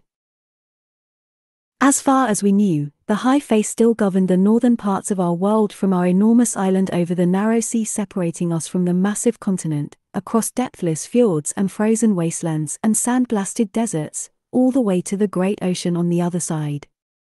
Some fairy territories were empires, some were overseen by kings and queens. Then there were places like Prythian, divided and ruled by seven high lords beings of such unyielding power that legend claimed they could level buildings, break apart armies, and butcher you before you could blink. I didn't doubt it. No one had ever told me why humans chose to linger in our territory, when so little space had been granted to us and we remained in such close proximity to Prythian. Fools whatever humans had stayed here after the war must have been suicidal fools to live so close. Even with the centuries-old treaty between the mortal and fairy realms, there were rifts in the warded wall separating our lands, holes big enough for those lethal creatures to slip into our territory to amuse themselves with tormenting us. That was the side of Prythian that the children of the blessed never deigned to acknowledge perhaps a side of Prythian I'd soon witness. My stomach turned. Live with him, I reminded myself, again and again and again. Live, not die. Though I supposed I could also live in a dungeon. He would likely lock me up and forget that I was there, forget that humans needed things like food and water and warmth. Prowling ahead of me, the beast's horns spiraled toward the night sky, and tendrils of hot breath curled from his snout. We had to make camp at some point, the border of Prythian was days away. Once we stopped, I would keep awake for the entirety of the night and never let him out of my sight. Even though he'd burned my ash arrow, I'd smuggled my remaining knife in my cloak. Maybe tonight would grant me an opportunity to use it. But it was not my own doom I contemplated as I let myself tumble into dread and rage and despair.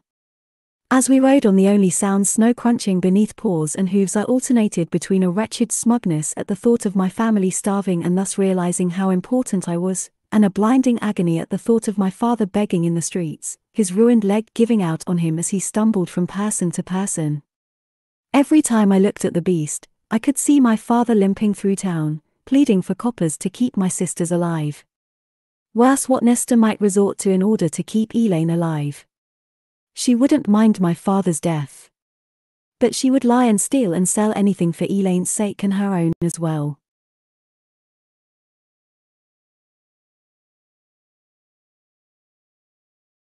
I took in the way the beast moved, trying to find any any weakness. I could detect none. What manner of fairy are you? I asked, the words nearly swallowed up by the snow and trees and star-heavy sky. He didn't bother to turn around. He didn't bother to say anything at all. Fair enough. I'd killed his friend, after all. I tried again. Do you have a name? Or anything to curse him by? A huff of air that could have been a bitter laugh. Does it even matter to you, human? I didn't answer. He might very well change his mind about sparing me. But perhaps I would escape before he decided to gut me. I would grab my family and we'd stow away on a ship and sail far, far away. Perhaps I would try to kill him, regardless of the futility, regardless of whether it constituted another unprovoked attack, just for being the one who came to claim my life, my life, when these fairies valued ours so little. The mercenary had survived, maybe I could, too. Maybe. I opened my mouth to again ask him for his name, but a growl of annoyance rippled out of him. I didn't have a chance to struggle, to fight back, when a charged, metallic tang stung my nose. Exhaustion slammed down upon me and blackness swallowed me whole. I awoke with a jolt atop the horse, secured by invisible bonds. The sun was already high. Magic that's what the tang had been, what was keeping my limbs tucked in tight, preventing me from going for my knife. I recognized the power deep in my bones, from some collective mortal memory and terror.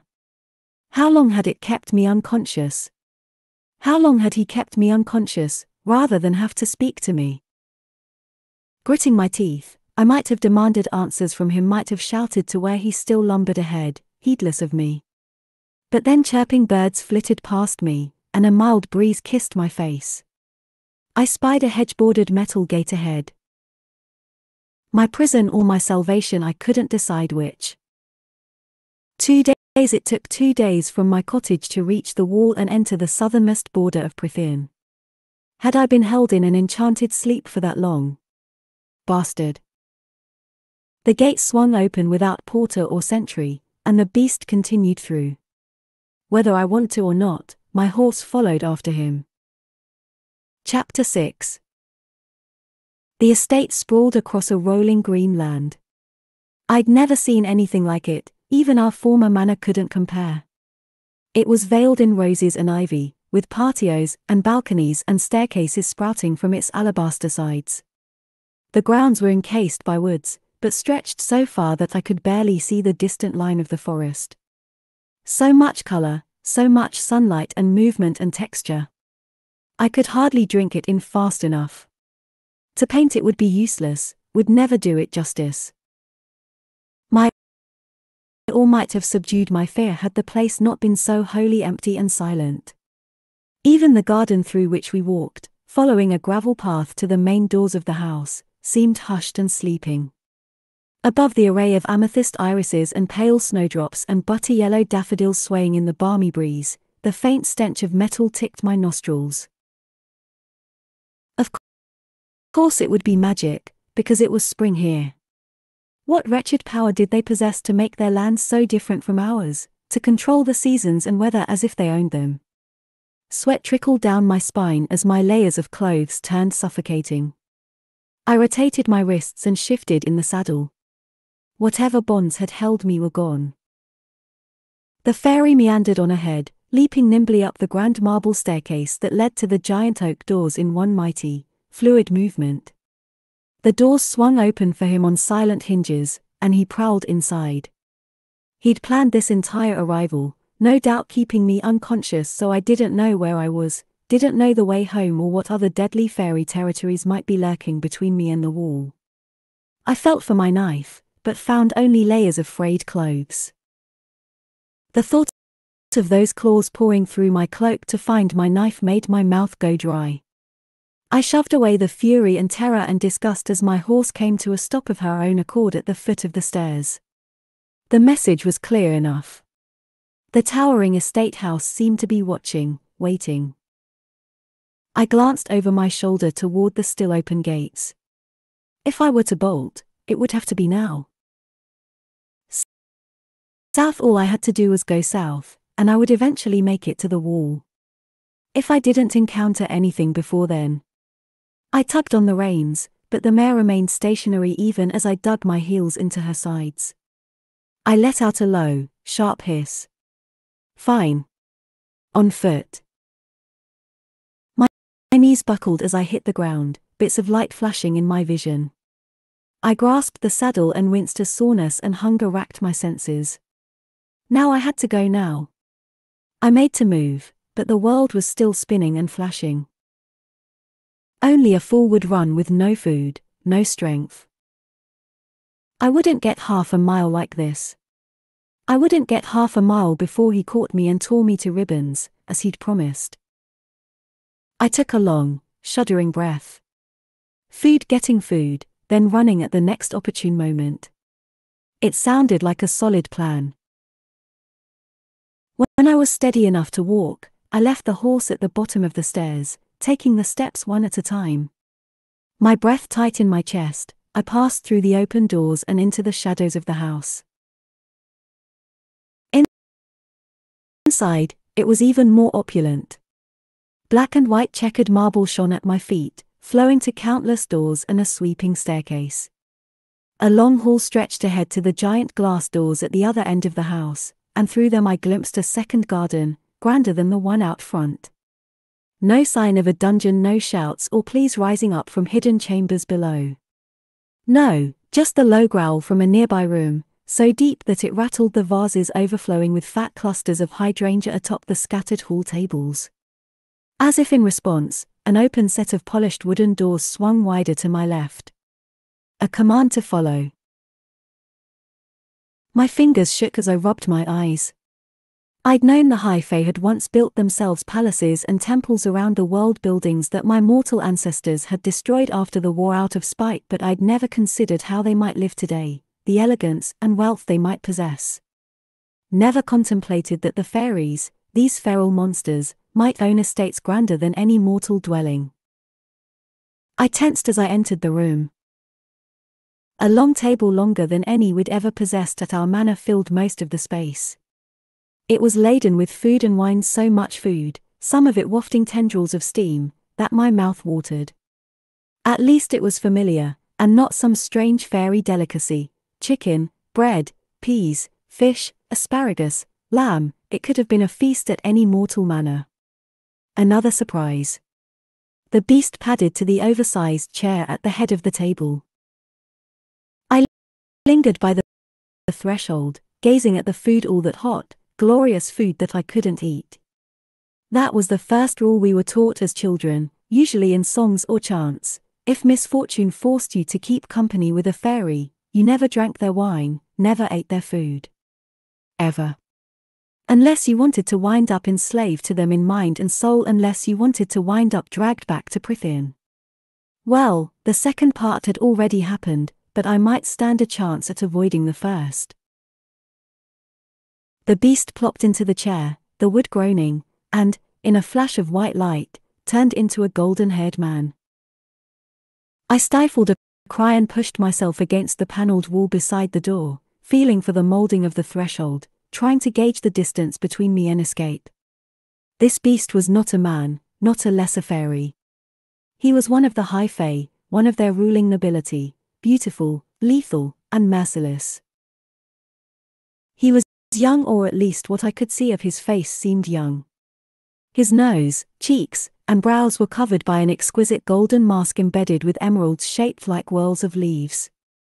Some absurd high fae fashion, no doubt. It left only his eyes looking the same as they had in his beast form, strong jaw, and mouth for me to see, and the latter tightened into a thin line. You should eat something, he said. Unlike the elegance of his mask, the dark green tunic he wore was rather plain, accented only with a leather baldric across his broad chest. It was more for fighting than style, even though he bore no weapons I could detect. Not just one of the high fae, but a warrior, too. I didn't want to consider what might require him to wear a warrior's attire and tried not to look too hard at the leather of the baldric gleaming in the sunlight streaming in through the bank of windows behind him. I hadn't seen a cloudless sky like that in months. He filled a glass of wine from an exquisitely cut crystal decanter and drank deeply. As if he needed it. I inched toward the door, my heart beating so fast I thought I'd vomit. The cool metal of the door's hinges bit into my fingers.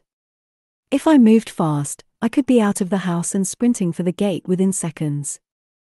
He was undoubtedly faster, but chucking some of those pretty pieces of hallway furniture in his path might slow him down. Though his fey ears with their delicate, pointed arches would pick up any whisper of movement from me. Who are you? I managed to say. His light golden hair was so similar to the color of his beast form's pelt. Those giant claws undoubtedly still lurked just below the surface of his skin. Sit, he said gruffly, waving a broad hand to encompass the table. Eat. I ran through the chants in my head, again and again. Not worth it easing my ravenous hunger was definitely not worth the risk of being enslaved to him in mind and soul. He let out a low growl. Unless you'd rather faint. It's not safe for humans, I managed to say, offense be damned. He huffed to laugh more feral than anything. The food is fine for you to eat, human. Those strange green eyes pinned me to the spot, as if he could detect every muscle in my body that was priming to bolt. Leave, if you want, he added with a flash of teeth. I'm not your jailer. The gates are open, you can live anywhere in Prythian. And no doubt be eaten or tormented by a wretched fairy. But while every inch of this place was civilized and clean and beautiful, I had to get out, had to get back. That promise to my mother, cold and vain as she was, was all I had. I made no move toward the food. Fine, he said, the word laced with a growl, and began serving himself. I didn't have to face the consequences of refusing him another time, as someone strode past me, heading right for the head of the table. Well, the stranger said another high fae, red haired and finely dressed in a tunic of muted silver. He, too, wore a mask. He sketched a bow to the seated male and then crossed his arms. Somehow, he hadn't spotted me where I was still pressed against the wall. Well, what? My captor cocked his head, the movement more animal than human. Is Andras dead, then? A nod from my captor savior, whatever he was. I'm sorry, he said quietly. How? the stranger demanded, his knuckles white as he gripped his muscled arms. An ash arrow, said the other. His red haired companion hissed. The treaty summons led me to the mortal. I gave her safe haven. A girl, a mortal girl actually killed Andras. Not a question so much as a venom coated string of words. He glanced at the end of the table, where my empty chair stood. And the summons found the girl responsible. The golden masked one gave a low, bitter laugh and pointed at me. The treaty's magic brought me right to her doorstep. The stranger whirled with fluid grace. His mask was bronze and fashioned after a fox's features, concealing all but the lower half of his face along with most of what looked like a wicked, slashing scar from his brow down to his jaw. It didn't hide the eye that was missing or the carved golden orb that had replaced it and moved as though he could use it. It fixed on me. Even from across the room, I could see his remaining russet eye widen. He sniffed once, his lips curling a bit to reveal straight white teeth, and then he turned to the other fairy. You're joking, he said quietly. That scrawny thing brought down Andras with a single ash arrow. Bastard and absolute bastard. A pity I didn't have the arrow now so I could shoot him instead. She admitted to it, the golden haired one said tightly, tracing the rim of his goblet with a finger. A long, lethal claw slid out, scraping against the metal. I fought to keep my breathing steady. Especially as he added, she didn't try to deny it. The fox masked fairy sank onto the edge of the table, the light catching in his long fire red hair. I could understand his mask, with that brutal scar and missing eye, but the other high fae seemed fine. Perhaps he wore it out of solidarity. Maybe that explained the absurd fashion. Well, the red haired one seethed, now we're stuck with that, thanks to your useless mercy, and you've ruined. I stepped forward only a step. I wasn't sure what I was going to say, but being spoken about that way. I kept my mouth shut, but it was enough. Did you enjoy killing my friend, human? the red haired one said. Did you hesitate, or was the hatred in your heart riding you too hard to consider sparing him? It must have been so satisfying for a small mortal thing like you to take him down. The golden haired one said nothing, but his jaw tightened. As they studied me, I reached for a knife that wasn't there. Anyway, the fox masked one continued, facing his companion again with a sneer. He would likely laugh if I ever drew a weapon on him. Perhaps there's a way to. Lucien, my captor said quietly, the name echoing with a hint of a snarl. Behave. Lucien went rigid, but he hopped off the edge of the table and bowed deeply to me. My apologies, lady. Another joke at my expense. I'm Lucien. Courtier and emissary. He gestured to me with a flourish. Your eyes are like stars, and your hair like burnished gold. He cocked his head waiting for me to give him my name. But telling him anything about me, about my family and where I came from. Her name is Feyre, said the one in charge the beast. He must have learned my name at my cottage. Those striking green eyes met mine again and then flicked to the door. Elise will take you to your room. You could use a bath and fresh clothes. I couldn't decide whether it was an insult or not. There was a firm hand at my elbow, and I flinched. A rotund brown haired woman in a simple brass bird mask tugged on my arm and inclined her head toward the open door behind us. Her white apron was crisp above her homespun brown dresser servant. The masks had to be some sort of trend, then. If they cared so much about their clothes, about what even their servants wore, maybe they were shallow and vain enough for me to deceive, despite their master's warrior clothes. Still, they were high fae. I would have to be clever and quiet and bide my time until I could escape. So I let Elise lead me away. Room not cell. A small relief, then. I I'd barely made it a few steps before Lucien growled, That's the hand the cauldron thought to deal us. She brought Andras down? We never should have sent him out there, none of them should have been out there. It was a fool's mission. His growl was more bitter than threatening. Could he shapeshift as well? Maybe we should just take a stand, maybe it's time to say enough. Dump the girl somewhere, kill her, I don't care, she's nothing but a burden here. She'd sooner put a knife in your back than talk to you or any of us. I kept my breathing calm, my spine locking, and. No, the other bit out. Not until we know for certain that there is no other way will we make a move. And as for the girl, she stays. Unharmed. End of discussion. Her life in that hovel was hell enough. My cheeks heated, even while I loosed a tight breath, and I avoided looking at Elise as I felt her eyes slide to me. A hovel, I suppose that's what our cottage was when compared to this place. Then you've got your work cut out for you, old son, Lucien said. I'm sure her life will be a fine replacement for Andras's. Maybe she can even train with the others on the border. A snarl of irritation resonated through the air. The shining, spotless halls swallowed me up before I could hear more. Elise led me through halls of gold and silver until we came to a lavish bedroom on the second level.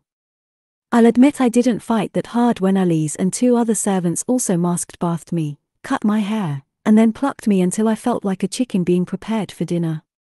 For all I knew, I might very well be their next meal. It was only the high fae's promise to live out my days in Prythian instead of dying that kept me from being sick at the thought.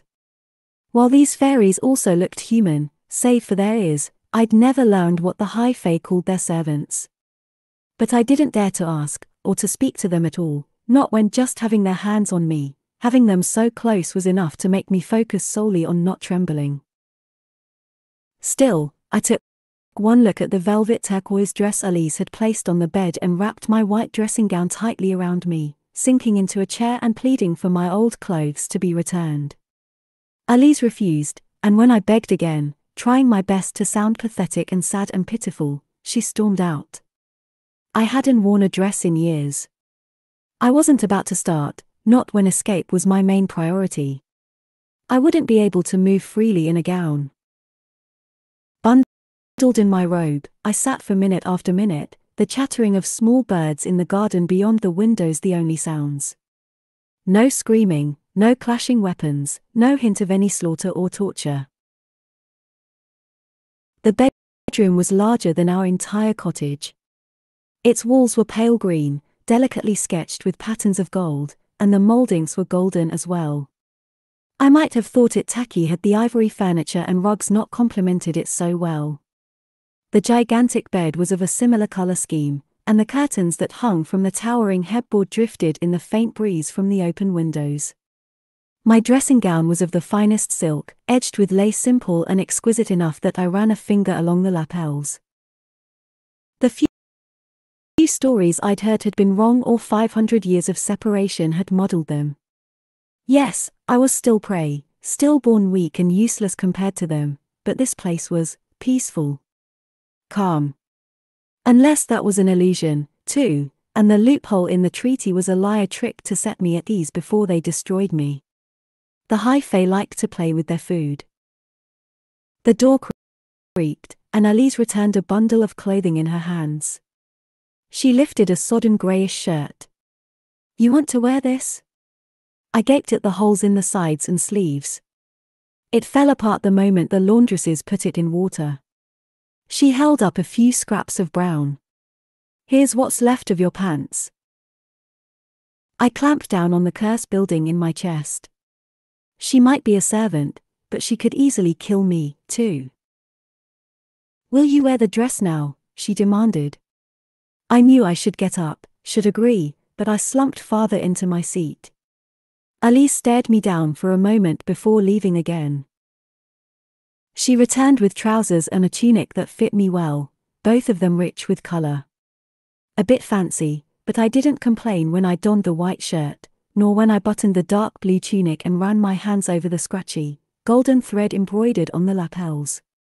It had to cost a fortune in itself and it tugged at that useless part of my mind that admired lovely and strange and colorful things.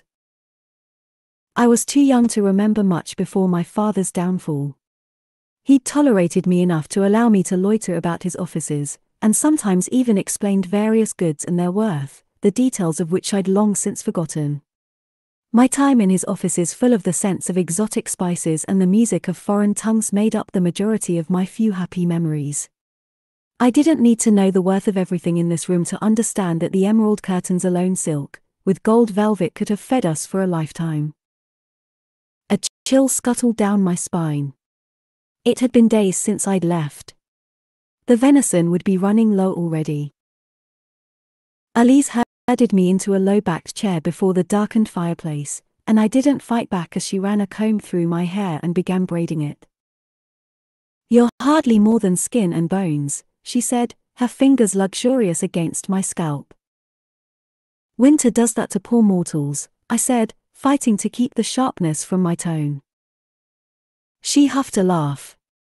If you're wise, you'll keep your mouth shut and your ears open. It'll do you more good here than a loose tongue. And keep your wits about you, even your senses will try to betray you here. I tried not to cringe at the warning. Elise went on. Some folk are bound to be upset about Andras. Yet if you ask me, Andras was a good sentinel, but he knew what he would face when he crossed the wall, knew he'd likely find trouble. And the others understand the terms of the treaty, too, even if they might resent your presence here, thanks to the mercy of our master.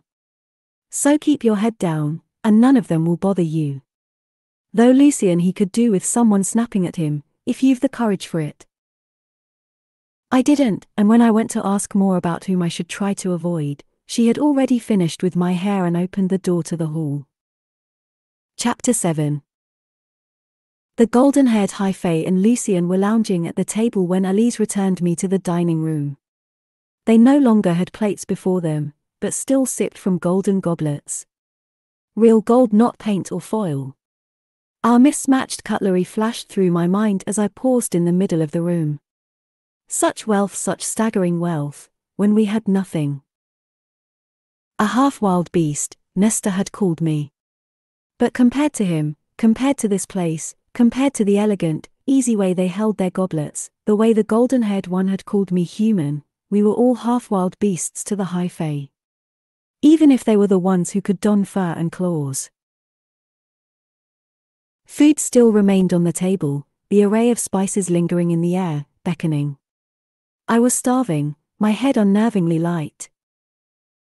The golden haired high fae's mask gleamed with the last rays of the afternoon sunshine. Before you ask again, the food is safe for you to eat. He pointed to the chair at the other end of the table.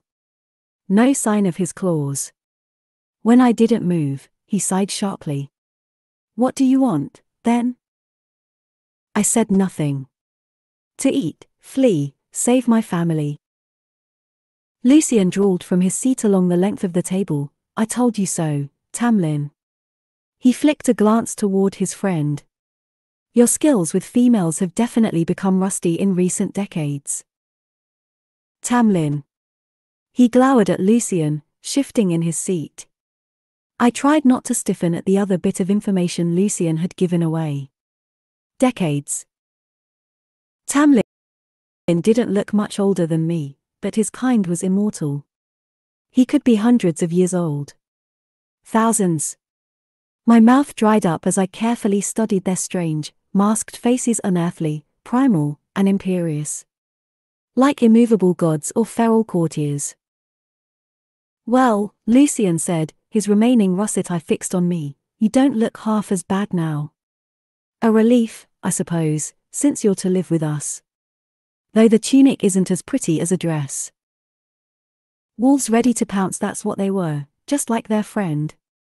I was all too aware of my diction, of the very breath I took as I said, I'd prefer not to wear that dress. And why not? Lucien crooned. It was Tamlin who answered for me. Because killing us is easier in pants.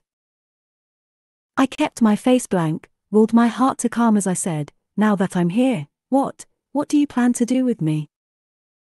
Lucien snorted, but Tamlin said with a snarl of annoyance, Just sit down. An empty seat had been pulled out at the end of the table. So many foods, piping hot and wafting those enticing spices. The servants had probably brought out new food while I'd washed. So much wasted. I clenched my hands into fists. We're not going to bite. Lucien's white teeth gleamed in a way that suggested otherwise. I avoided his gaze, avoided that strange, animated metal eye that focused on me as I inched to my seat and sat down. Tamlin rose, stalking around the table closer and closer, each movement smooth and lethal, a predator blooded with power. It was an effort to keep still, especially as he picked up a dish, brought it over to me, and piled some meat and sauce on my plate. I said quietly, I can serve myself.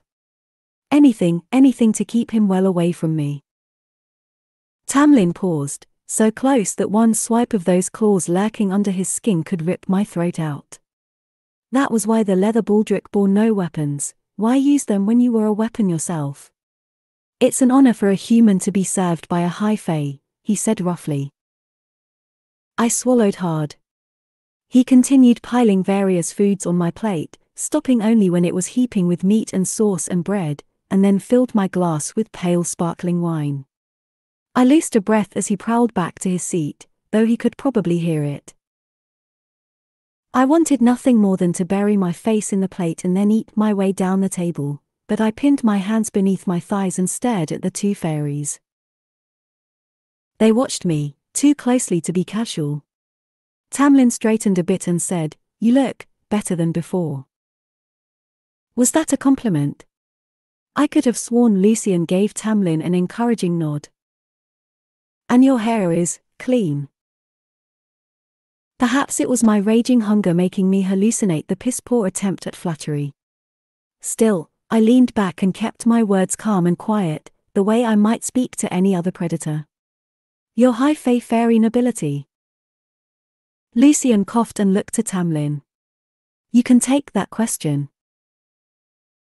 Yes, Tamlin said, frowning as if searching for anything to say to me. He settled on merely, we are. Fine. A man fairy of few words. I had killed his friend, was an unwanted guest. I wouldn't want to talk to me, either. What do you plan to do with me now that I'm here? Tamlin's eyes didn't leave my face. Nothing. Do whatever you want. So I'm not to be your slave? I dared ask. Lucien choked on his wine. But Tamlin didn't smile. I don't keep slaves. I ignored the release of tightness in my chest at that. But what am I to do with my life here? I pressed. Do you do you wish me to earn my keep? To work? A stupid question, if he hadn't considered it, but, but I had to know. Tamlin stiffened. What you do with your life isn't my problem. Lucien pointedly cleared his throat, and Tamlin flashed him a glare. After an exchanged look I couldn't read, Tamlin sighed and said, Don't you have any interests? No.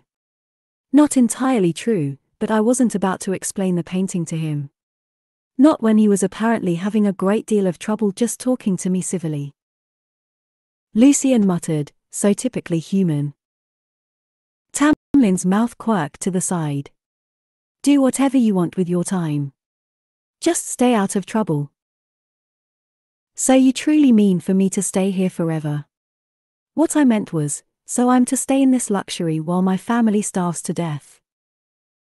I didn't make the rules, Tamlin said tersely. My family is starving, I said. I didn't mind begging not for this. I'd given my word, and held to that word for so long that I was nothing and no one without it.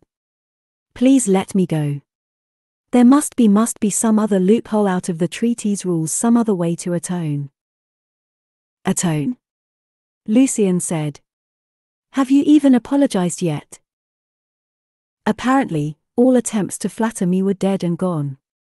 So I looked Lucien right in his remaining russet eye and said, I'm sorry. Lucien leaned back in his chair.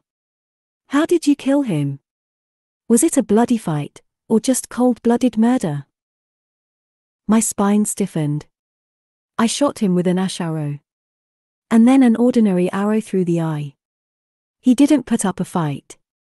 After the first shot, he just stared at me. Yet you killed him anyway, though he made no move to attack you.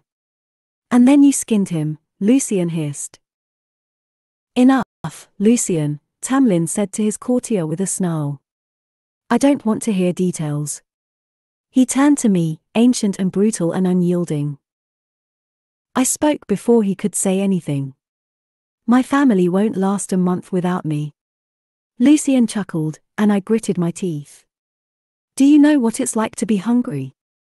I demanded, anger rising to devour any common sense. Do you know what it's like to not know when your next meal will be? Tamlin's jaw tightened. Your family is alive and well cared for. You think so low of fairies that you believe I'd take their only source of income and nourishment and not replace it. I straightened. You swear it? Even if fairies couldn't lie, I had to hear it. A low, incredulous laugh. On everything that I am and possess. Why not tell me that when we left the cottage? Would you have believed me? Do you even believe me now? Tamlin's claws embedded in the arms of his chair. Why should I trust a word you say? You're all masters of spinning your truths to your own advantage. Some would say it's unwise to insult a Fae in his home, Tamlin ground out. Some would say you should be grateful for me finding you before another one of my kind came to claim the debt, for sparing your life and then offering you the chance to live in comfort. I shot to my feet, wisdom be damned, and was about to kick back my chair when invisible hands clapped on my arms and shoved me back into the seat. Do not do whatever it was you were contemplating, Tamlin said. I went still as the tang of magic seared my nose. I tried to twist in the chair, testing the invisible bonds. But my arms were secured, and my back was pressed into the wood so hard that it ached. I glanced at the knife beside my plate. I should have gone for it first, futile effort or no. I'm going to warn you once, Tamlin said too softly. Only once, and then it's on you, human. I don't care if you go live somewhere else in Prythian. But if you cross the wall, if you flee, your family will no longer be cared for. His words were like a stone to the head. If I escaped, if I even tried to run, I might very well doom my family. And even if I dared risk it, even if I succeeded in reaching them, where would I take them? I couldn't stow my sisters away on a ship, and once we arrived somewhere else, somewhere safe, we'd have nowhere to live. But for him to hold my family's well being against me, to throw away their survival if I stepped out of line. I opened my mouth, but his snarl rattled the glasses. Is that not a fair bargain? And if you flee, then you might not be so lucky with whoever comes to retrieve you next. His claws slipped back under his knuckles. The food is not enchanted, or drugged, and it will be your own damn fault if you faint. So you're going to sit at this table and eat, Feyre. And Lucien will do his best to be polite. He threw a pointed look in his direction.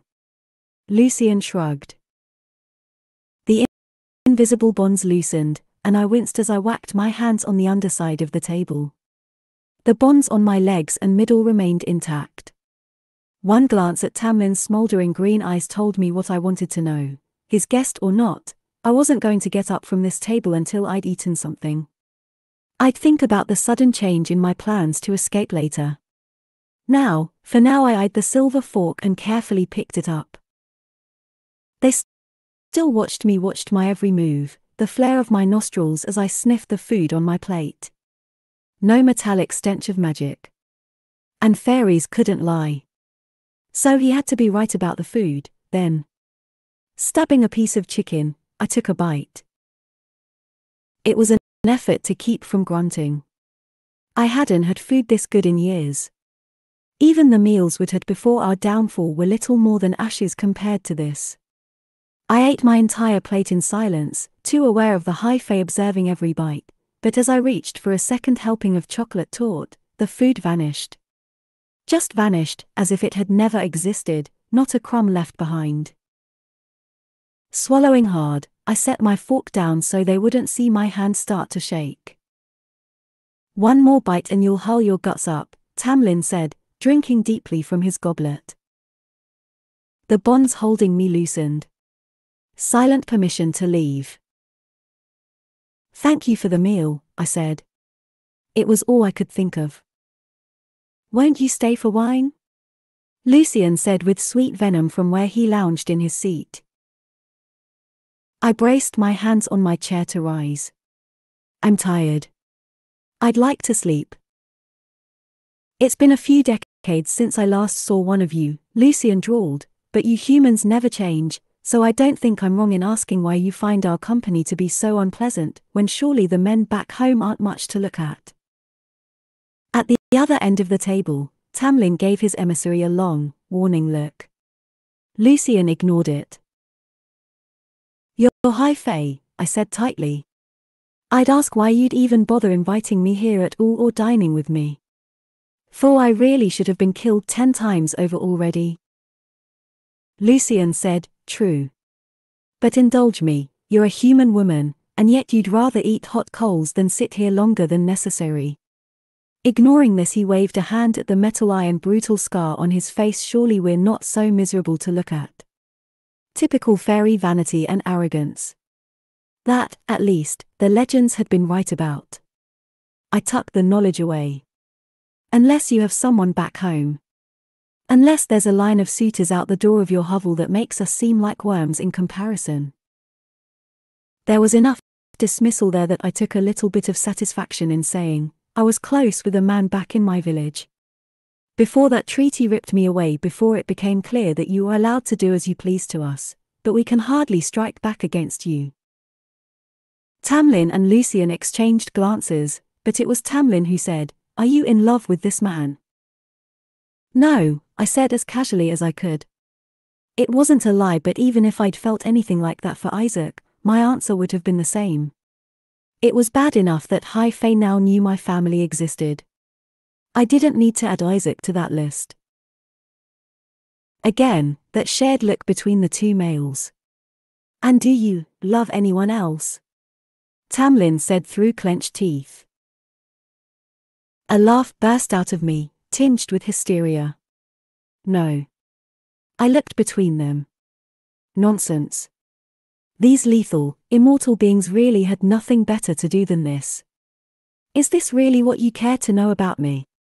If I find you more handsome than human men, and if I have a man back home, why bother to ask at all, when I'll be stuck here for the rest of my life? A hot line of anger sliced through my senses. We want to learn more about you, since you'll be here for a good while, Tamlin said, his lips a thin line. But Lucien's pride tends to get in the way of his manners. He sighed, as if ready to be done with me, and said, Go rest. We're both busy most days, so if you need anything, ask the staff. They'll help you.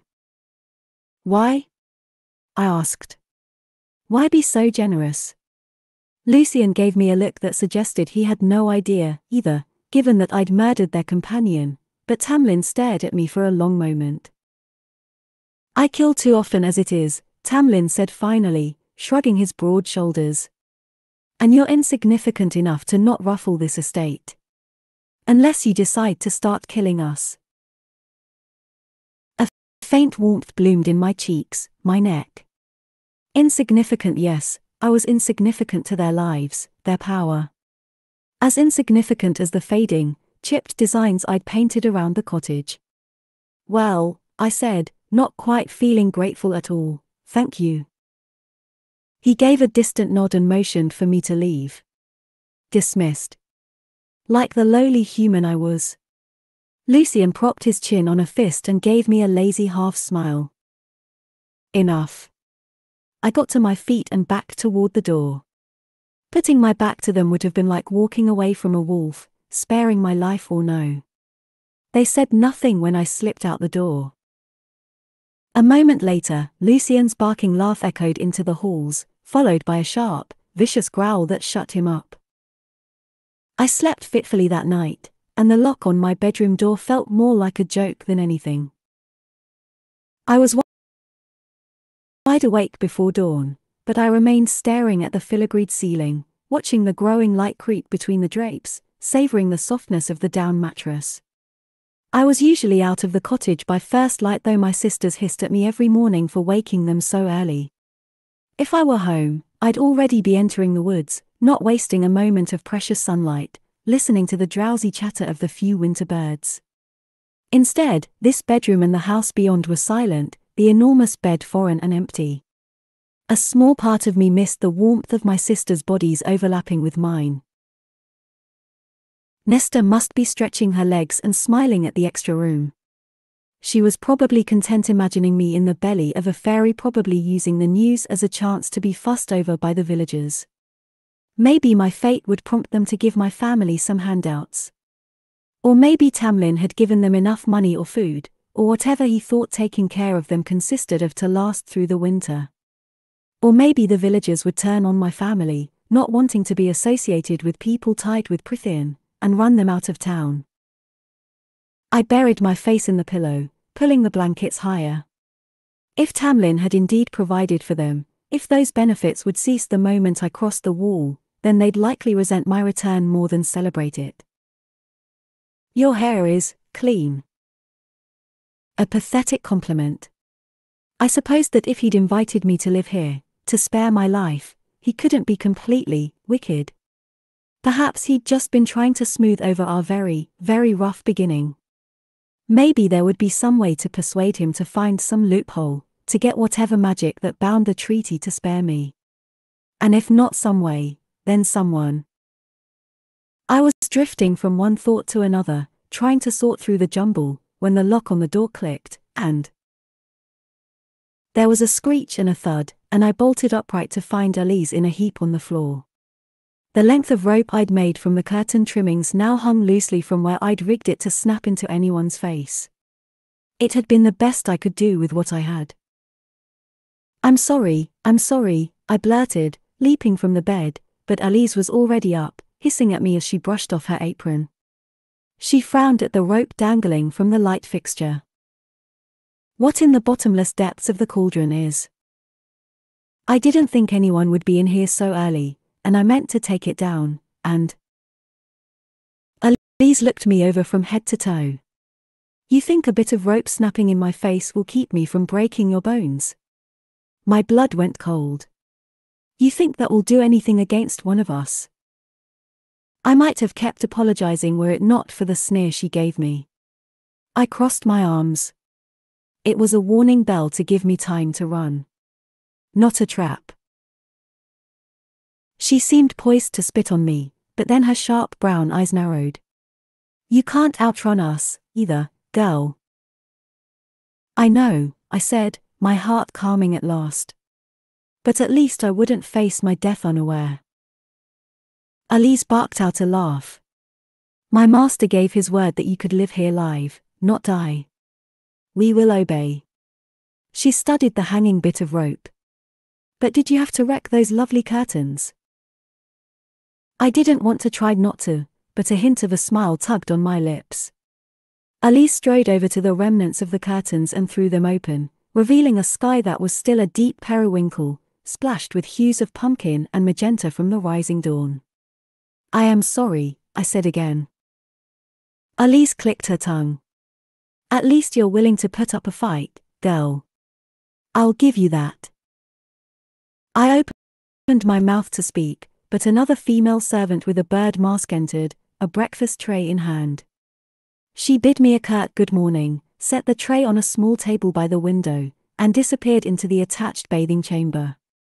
The sound of running water filled the room. I sat at the table and studied the porridge and eggs and bacon bacon. Again, such similar food to what we ate across the wall. I don't know why I'd expected otherwise. Alis poured me a cup of what looked and smelled like tea, full bodied, aromatic tea, no doubt imported at great expense. Prythian and my adjoining homeland weren't exactly easy to reach.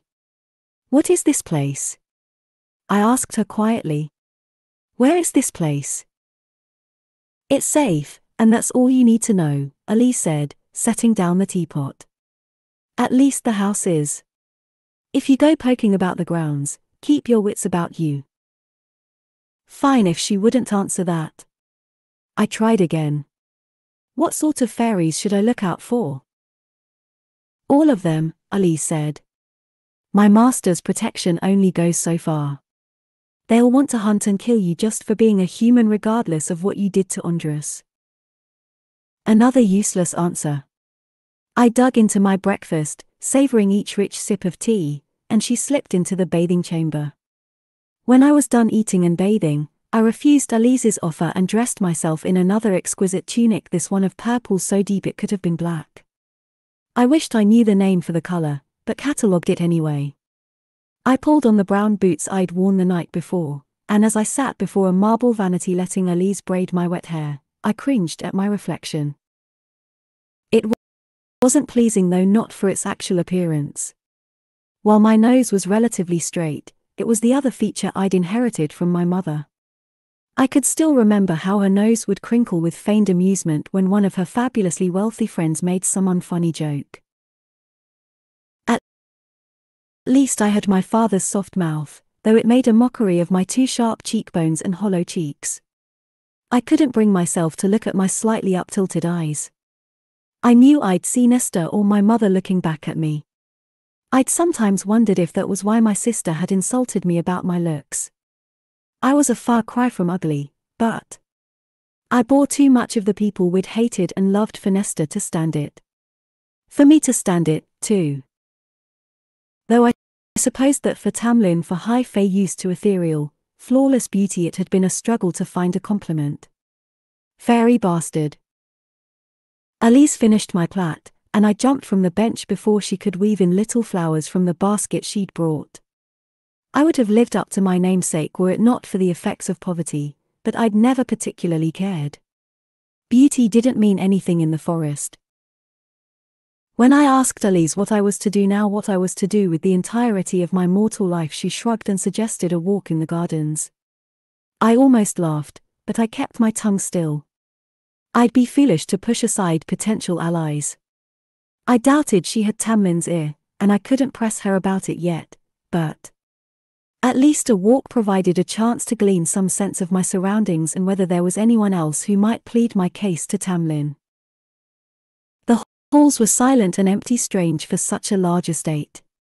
They'd mentioned others the night before, but I saw and heard no sign of them.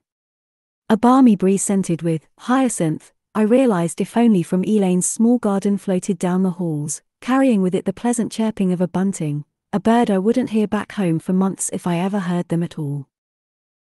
I was almost to the grand staircase when I noticed the paintings.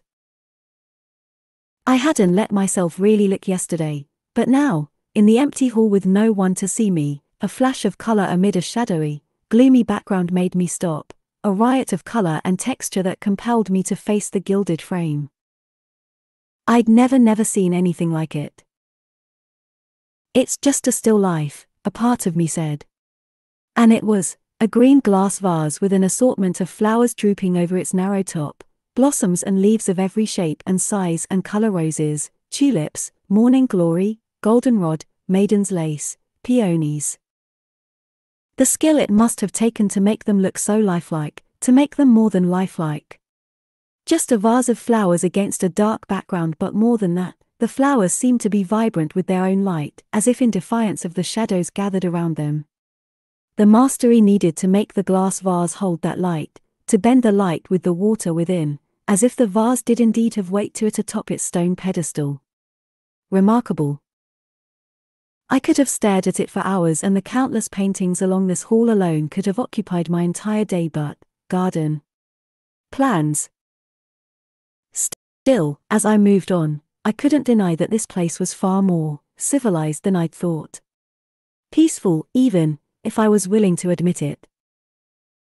And if the High Fae were indeed gentler than human legend and rumor had led me to believe, then maybe convincing Alis of my misery might not be too hard. If I could win over Alis, convince her that the treaty had been wrong to demand such payment from me, she might indeed see if there was anything to get me out of this debt and. You, someone said, and I jumped back a step. In the light of the open glass doors to the garden, a towering male figure stood silhouetted before me. Tamlin. He wore those warrior's clothes, cut close to show off his toned body, and three simple knives were now sheathed along his baldric, each long enough to look like it could gut me as easily as his beast's claws. His blond hair had been tied back from his face, revealing those pointed ears and that strange, beautiful mask. Where are you going? He said, gruffly enough that it almost sounded like a demand. You I wondered if he even remembered my name. It took a moment to will enough strength into my legs to rise from my half crouch. Good morning, I said flatly. At least it was a better greeting than you. You said my time was to be spent however I wanted. I didn't realize I was under house arrest. His jaw tightened. Of course you're not under house arrest. Even as he bit out the words, I couldn't ignore the sheer male beauty of that strong jaw, the richness of his golden tan skin. He was probably handsome if he ever took off that mask. When he realized that I wasn't going to respond, he bared his teeth in what I supposed was an attempt at a smile and said, Do you want a tour? No, thank you, I managed to get out, conscious of every awkward motion of my body as I edged around him stepped into my path close enough that he conceded a step back.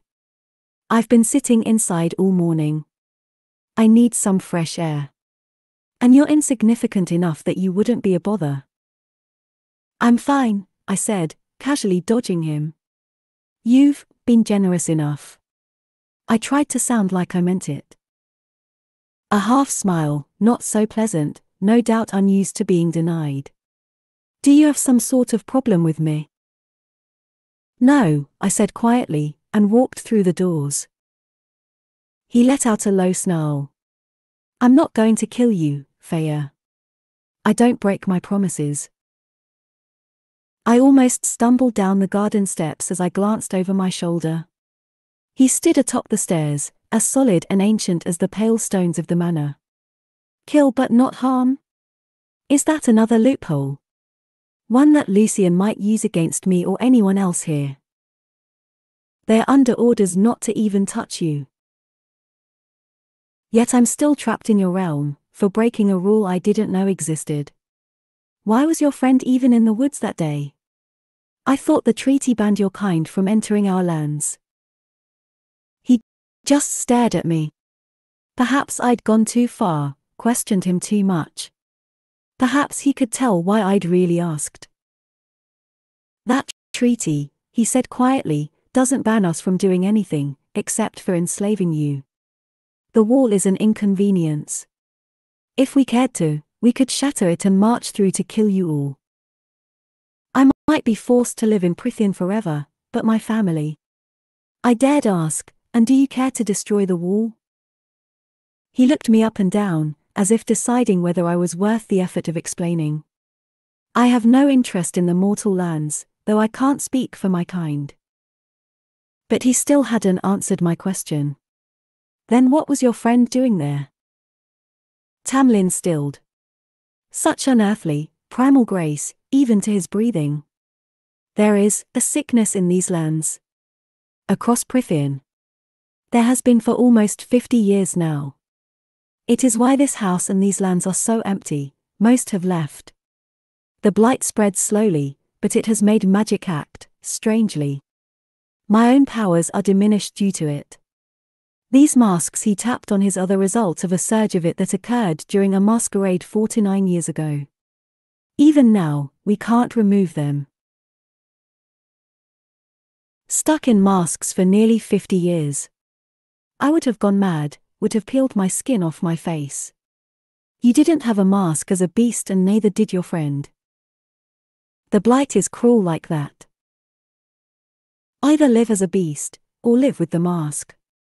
What what sort of sickness is it? It's not a disease, not a plague or illness. It's focused solely on magic, on those dwelling in Prythian. Andras was across the wall that day because I sent him to search for a cure. Can it hurt humans? My stomach twisted. Will it spread over the wall? Yes, he said. There is a chance of it affecting mortals and your territory. More than that, I don't know. It's slow moving, and your kind is safe for now. We haven't had any progression in decades. Magic seems to have stabilized, even though it's been weakened. That he'd even admitted so much spoke volumes about how he imagined my future. I was never going home, never going to encounter another human to whom I might spill this secret vulnerability. A mercenary told me she believed fairies might be thinking of attacking. Is it related? A hint of a smile, perhaps a bit surprised. I don't know. Do you talk to mercenaries often? I talk to whoever bothers to tell me anything useful. He straightened, and it was only his promise not to kill me that kept me from cringing. Then he rolled his shoulders, as if shaking off his annoyance. Was the tripwire you rigged in your room for me? I sucked on my teeth. Can you blame me if it was? I might take an animal form, but I am civilized, Feyre. So he did remember my name, at least. But I looked pointedly at his hands, at the razor sharp tips of those long, curved claws poking through his tanned skin. Noticing my stare, he tucked his hands behind his back. He said sharply, I'll see you at dinner. It wasn't a request, but I still gave him a nod as I strode off between the hedges, not caring where I was going, only that he stayed far behind. A sickness in their lands, affecting their magic, draining it from them. A magical blight that might one day spread to the human world. After so many centuries without magic, we'd be defenseless against it against whatever it could do to humans. I wondered if any of the High Fae would bother warning my kind. It didn't take me long to know the answer. Chapter 8 I pretended to meander through the exquisite and silent gardens, mentally marking the paths and clever places for hiding if I ever needed them. He'd taken my weapons, and I wasn't stupid enough to hope for an ash tree somewhere on the property with which to make my own. But his baldric had been laden with knives, there had to be an armory somewhere on the estate. And if not, I would find another weapon, then steal it if I had to. Just in case. Upon inspection the night before, I'd learned that there was no lock on my window. Sneaking out and rappelling down the wisteria vines wouldn't be difficult at all. I'd climbed enough trees to not mind the height. Not that I planned to escape, but it was good to know, at least, how I might do so should I ever be desperate enough to risk it. I didn't doubt Tamlin's claim that the rest of Prythian was deadly for a human and if there was indeed some blight on these lands. I was better off here for the time being but not without trying to find someone who might plead my case to Tamlin. Though Lucien he could do with someone snapping at him, if you've the courage for it, Alis had said to me yesterday. I chewed on my stubby nails as I walked, considering every possible plan and pitfall. I'd never been particularly good with words, had never learned the social warfare my sisters and mother had been so adept at, but I'd been decent enough when selling hides at the village market. So perhaps I'd seek out Tamlin's emissary, even if he detested me. He clearly had little interest in my living here, he'd suggested killing me. Perhaps he'd be eager to send me back, to persuade Tamlin to find some other way to fulfill the treaty. If there even was one. I approached a bench in an alcove blooming with foxglove when the sound of steps on shifting gravel filled the air. Two pairs of light, quick feet. I straightened, peering down the way I'd come, but the path was empty. I lingered at the edge of an open field of lanky meadow buttercups. The vibrant green and yellow field was deserted.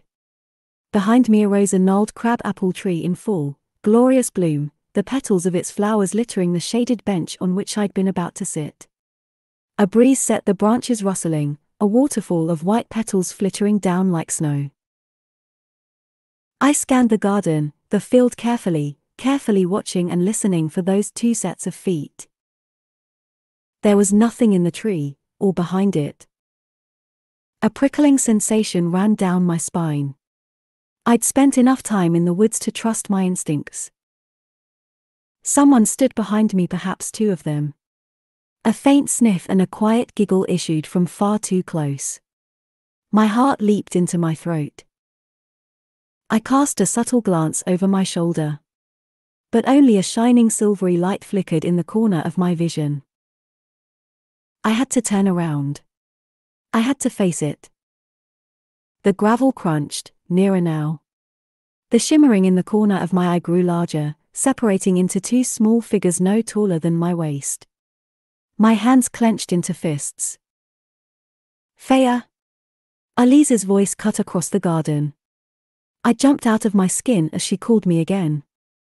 Feyre, lunch, she hollered. I whirled, a shout forming on my lips to alert her to whatever stood behind me, raising my fists, however futile it would be. But the shining things had vanished, along with their sniffing and giggling, and I found myself facing a weathered statue of two merry, bounding lambs. I rubbed my neck. Alis called me again, and I took a shuddering breath as I returned to the manor.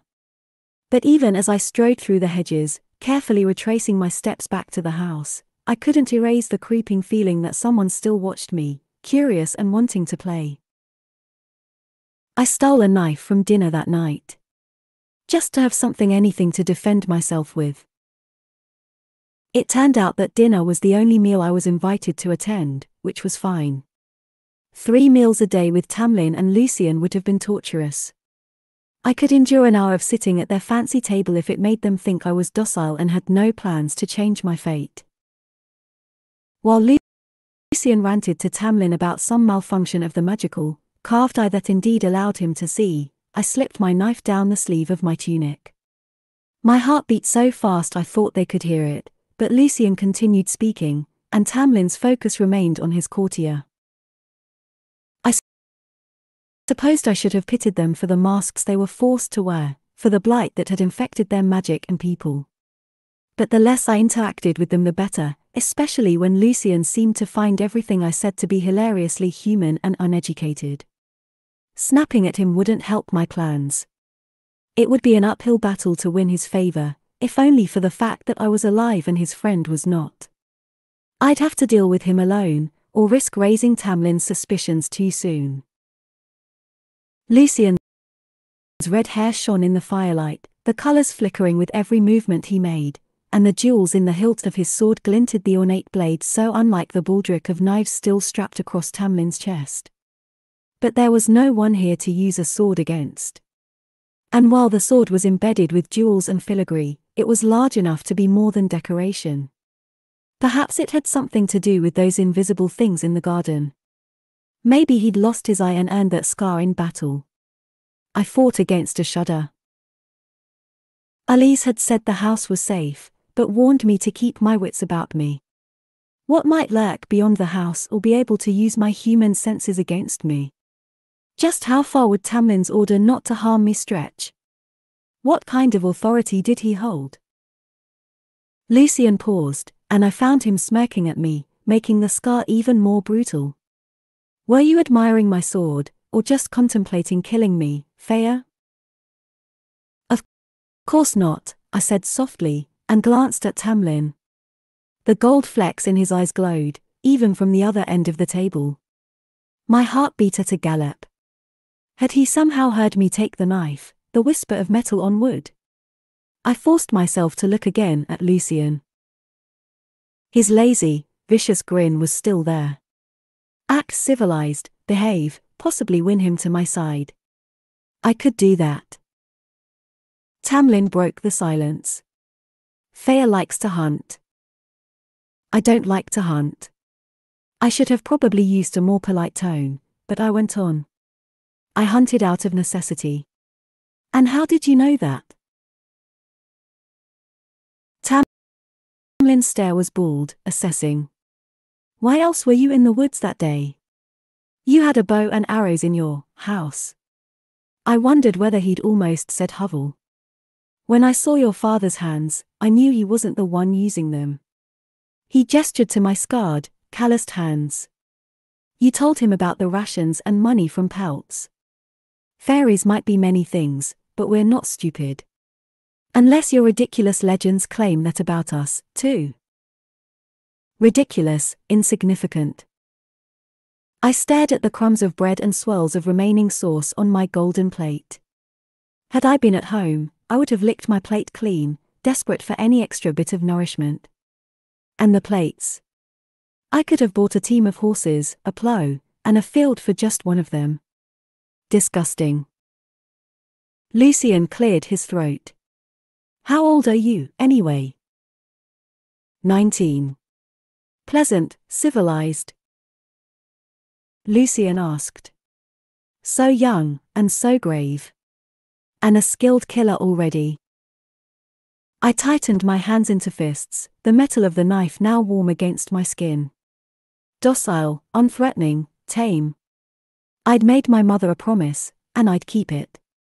Tamlin's looking after my family wasn't the same as my looking after them. That wild, small dream could still come to pass, my sisters comfortably married off, and a lifetime with my father, with enough food for us both and enough time to maybe paint a little or to maybe learn what I wanted. It could still happen in a faraway land, perhaps if I ever got out of this bargain. I could still cling to that scrap of a dream, though these high fae would likely laugh at how typically human it was to think so small, to want so little.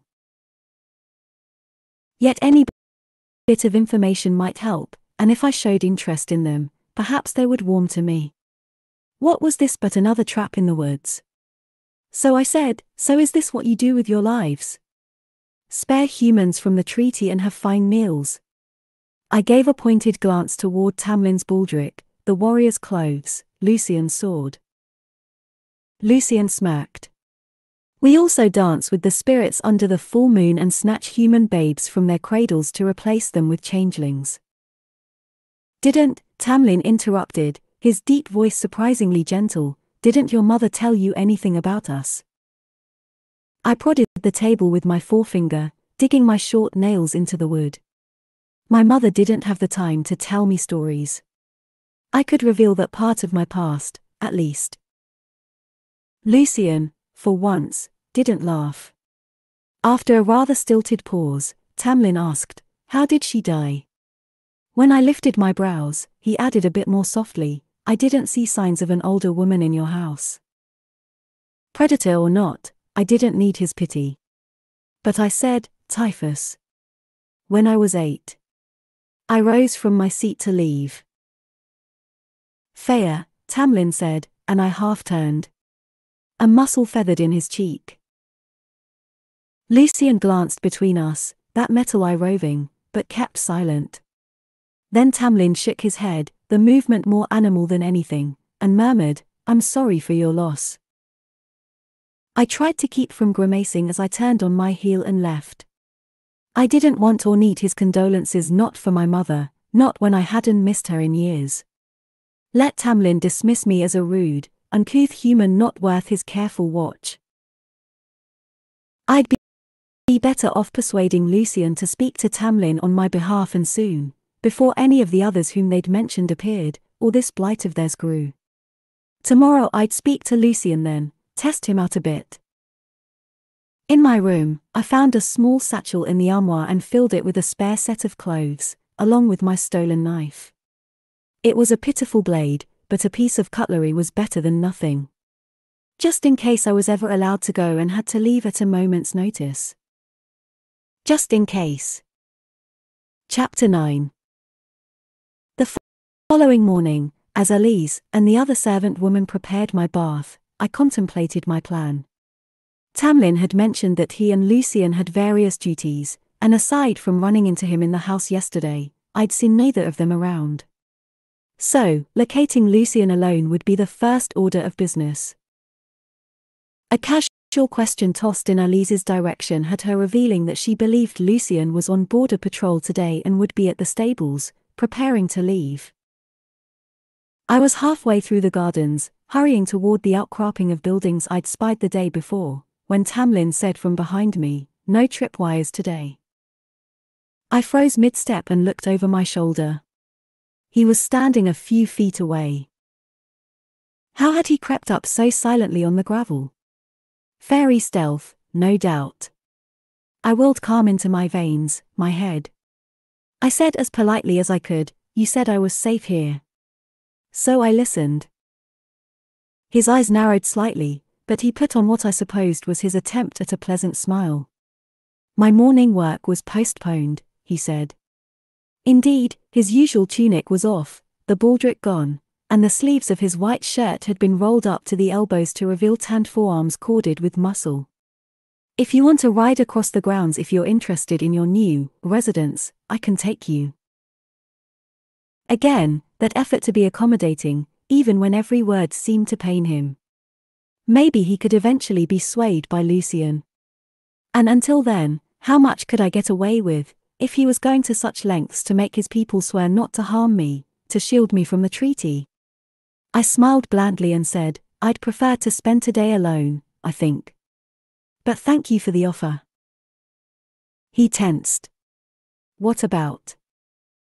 No, no, thank you, I interrupted, marveling a bit at my own audacity.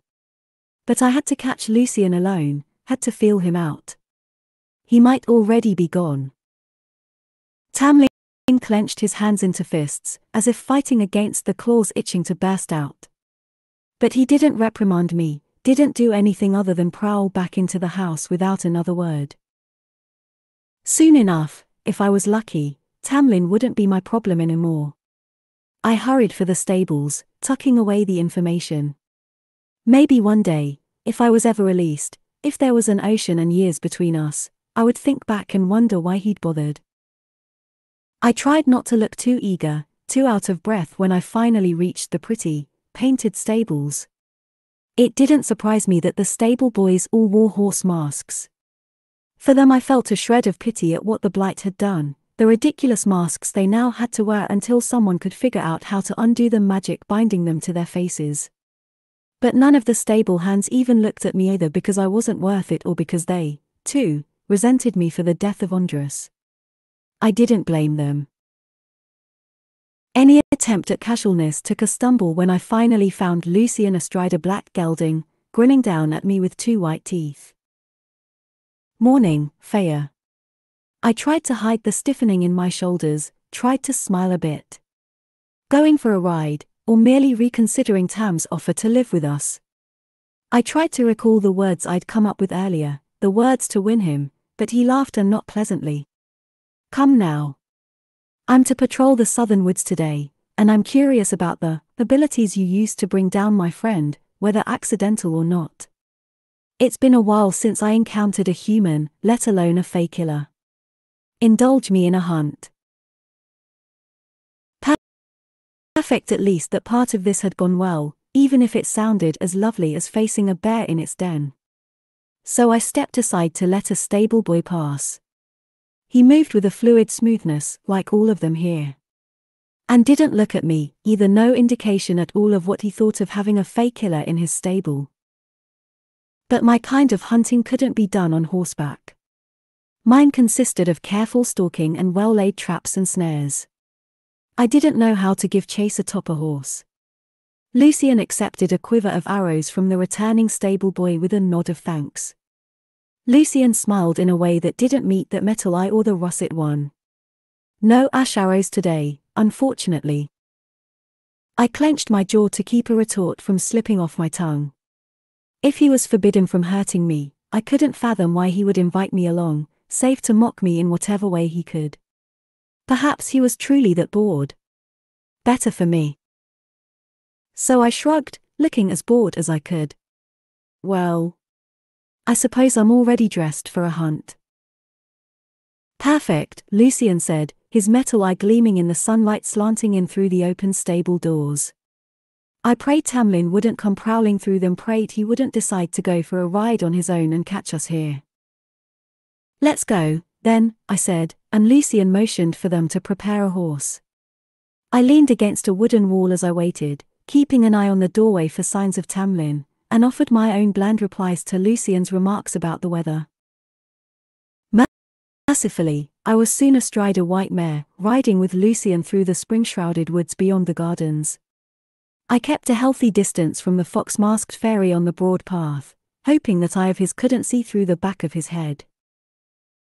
The thought didn't sit well, and I shoved it away along with the part of me that marveled at the way the sun illuminated the leaves, and the clusters of crocuses that grew like flashes of vibrant purple against the brown and green.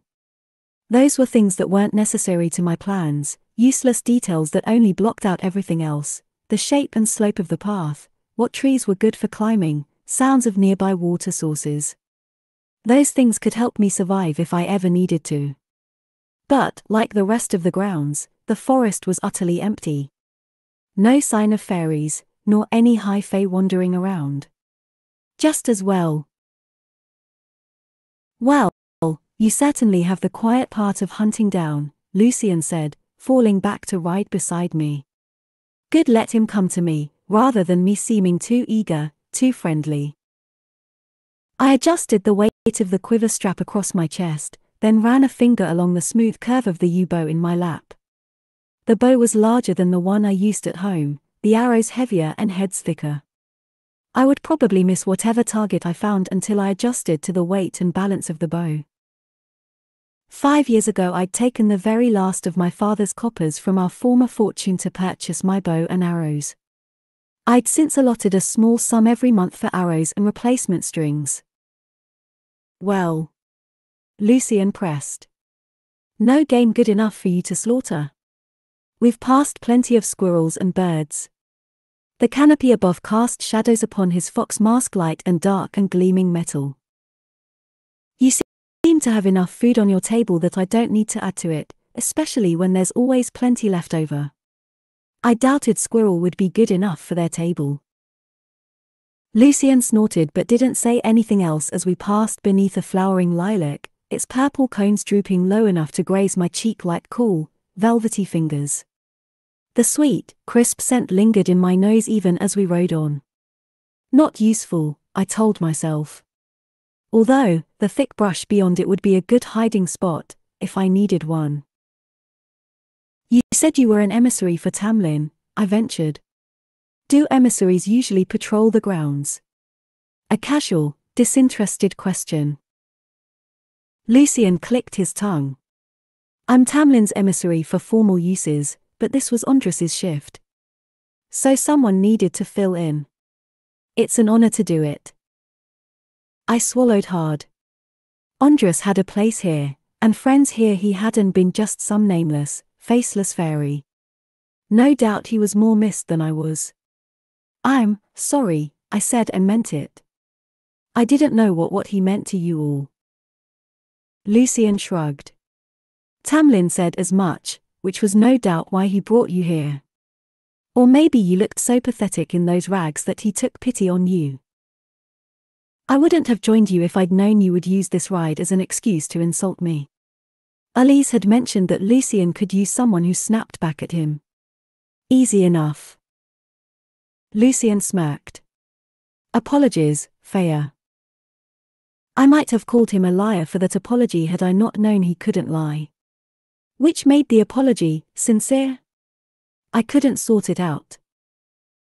So, he said, when are you going to start trying to persuade me to beseech Tamlin to find a way to free you from the treaty's rules? I tried not to jolt. What? That's why you agreed to come out here, isn't it? Why you wound up at the stables exactly as I was leaving? He shot me a sideways glance with that russet eye of his. Honestly, I'm impressed and flattered you think I have that kind of sway with Tamlin. I wouldn't reveal my hand not yet. What are you talking? His cocked head was answer enough. He chuckled and said, Before you waste one of your precious few human breaths, let me explain two things to you. 1. If I had my way, you'd be gone, so it wouldn't take much convincing on your part. 2. I can't have my way, because there is no alternative to what the treaty demands. There's no extra loophole. But but there has to be something. I admire your balls, Feyre I really do. Or maybe it's stupidity. But since Tam won't gut you, which was my first choice, you're stuck here. Unless you want to rough it on your own in Prythian, which he looked me up and down I'd advise against. No, no, no, I couldn't just, just stay here. Forever. Until I died. Maybe, maybe there was some other way, or someone else who could find a way out. I mastered my uneven breathing, shoving away the panicked, bleating thoughts. A valiant effort, Lucien said with a smirk. I didn't bother hiding the glare I cut in his direction. We rode on in silence, and aside from a few birds and squirrels, I saw nothing heard nothing unusual. After a few minutes I'd quieted my riotous thoughts enough to say, where is the rest of Tamlin's court? They all fled this blight on magic. How do you know about the court? He asked so quickly that I realized he thought I meant something else. I kept my face blank. Do normal estates have emissaries? And servants chatter. Isn't that why you made them wear bird masks to that party? Lucien scowled, that scar stretching. We each chose what to wear that night to honor Tamlin's shape-shifting gifts. The servants, too. But now, if we had the choice, we'd peel them off with our bare hands, he said, tugging on his own. It didn't move. What happened to the magic to make it act that way? Lucien let out a harsh laugh. Something was sent from the shitholes of hell, he said, then glanced around and swore. I shouldn't have said that. If word got back to her. Who? The color had leached from his sun-kissed skin. He dragged a hand through his hair. Never mind. The less you know, the better. Tam might not find it troublesome to tell you about the blight, but I wouldn't put it past a human to sell the information to the highest bidder. I bristled, but the few bits of information he'd released lay before me like glittering jewels. A her who scared Lucien enough to make him worried to make him afraid someone might be listening, spying, monitoring his behavior. Even out here. I studied the shadows between the trees but found nothing. Prythian was ruled by seven high lords perhaps this she was whoever governed this territory, if not a high lord, then a high lady. If that was even possible. How old are you? I asked, hoping he'd keep divulging some more useful information. It was better than knowing nothing. Old, he said. He scanned the brush, but I had a feeling his darting eyes weren't looking for game. His shoulders were too tense. What sort of powers do you have? Can you shapeshift like Tamlin?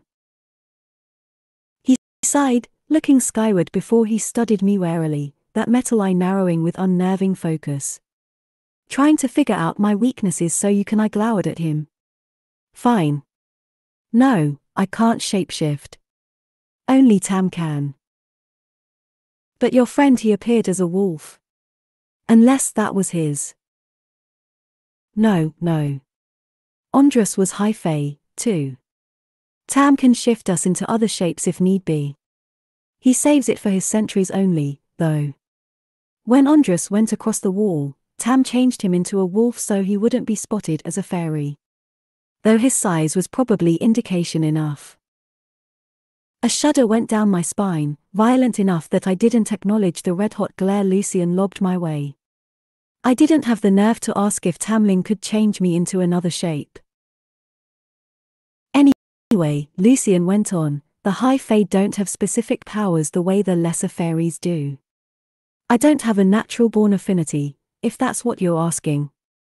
I don't clean everything in sight or lure mortals to a watery death or grant you answers to whatever questions you might have if you trap me. We just exist to rule.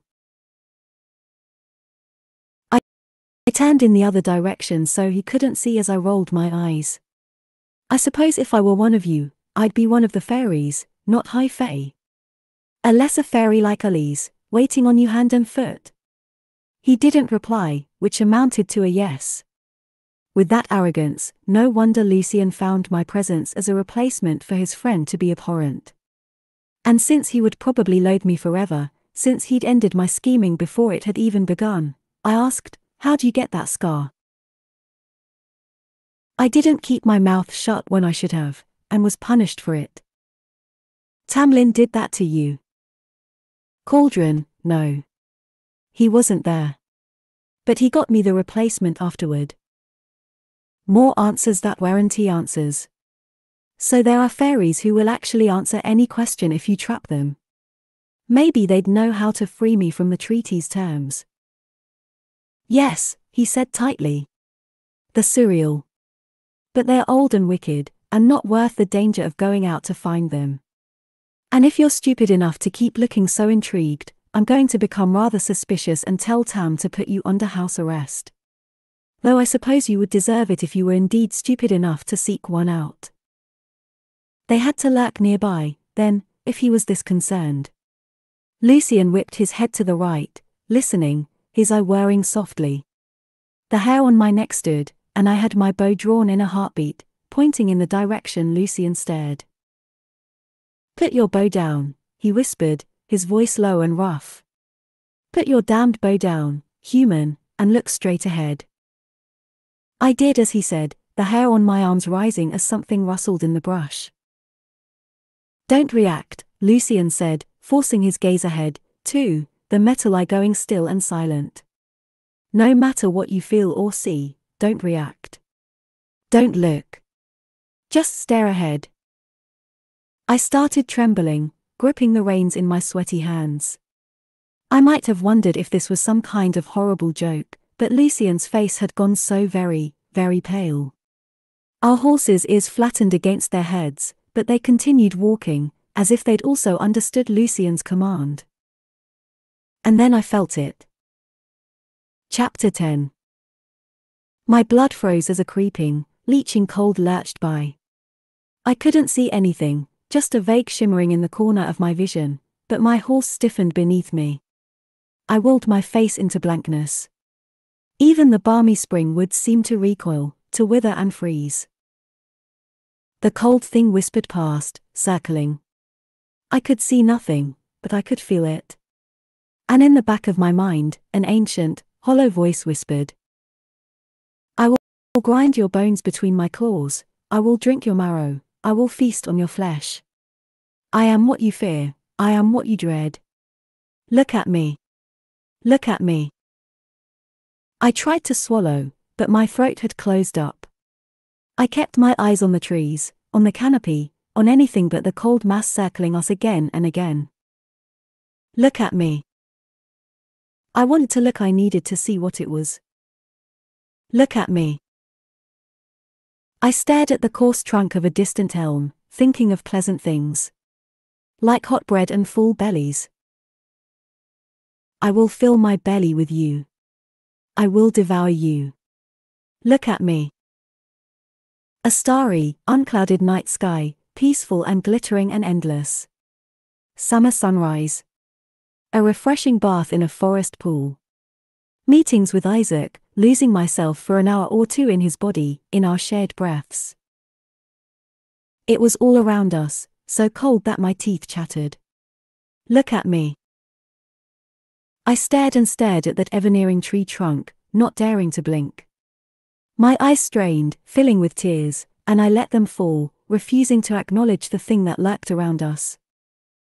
Look at me. And just as I thought I would give in, when my eyes hurt so much from not looking, the cold disappeared into the brush, leaving a trail of still, recoiling plants behind it. Only after Lucien exhaled and our horses shook their heads did I dare sag in my seat. Even the crocuses seemed to straighten again. What was that? I asked, brushing the tears from my face.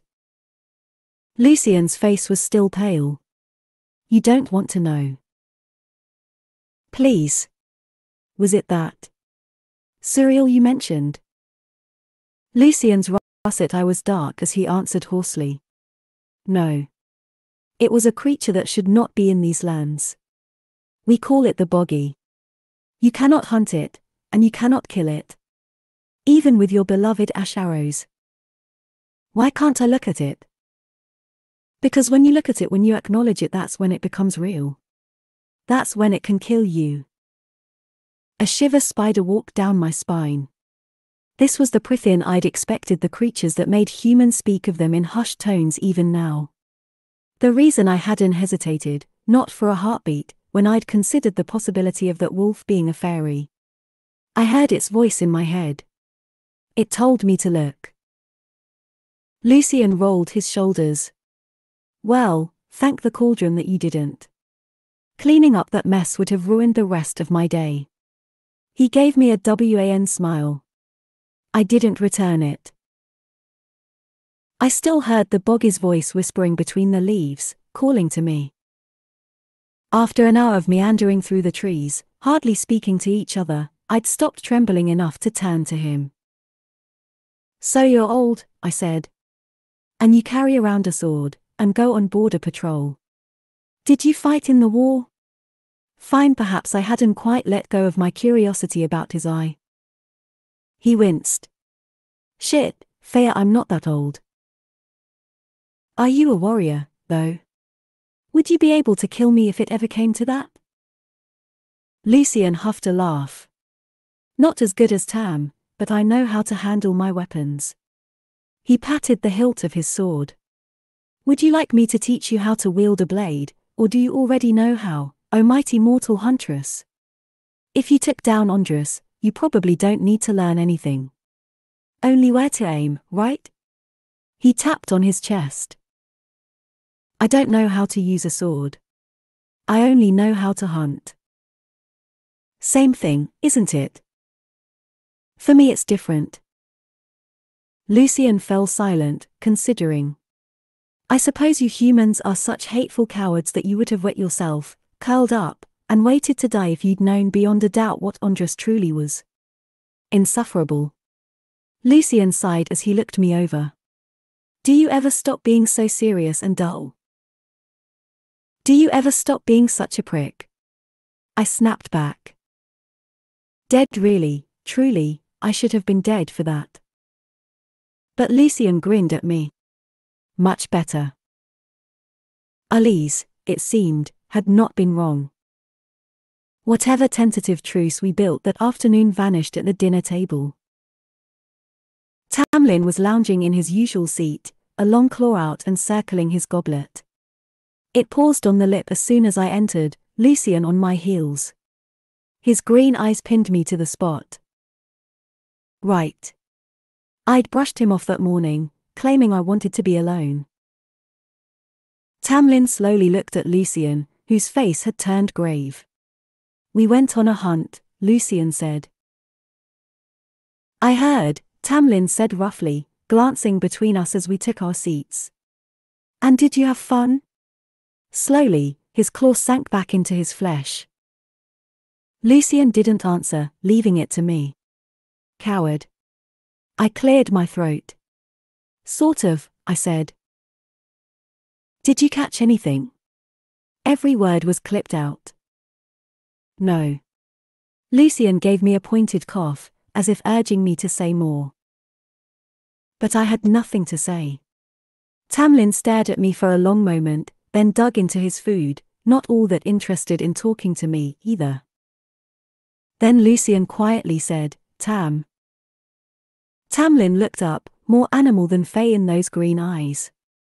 A demand for whatever it was Lucien had to say. Lucien's throat bobbed. The Bogge was in the forest today.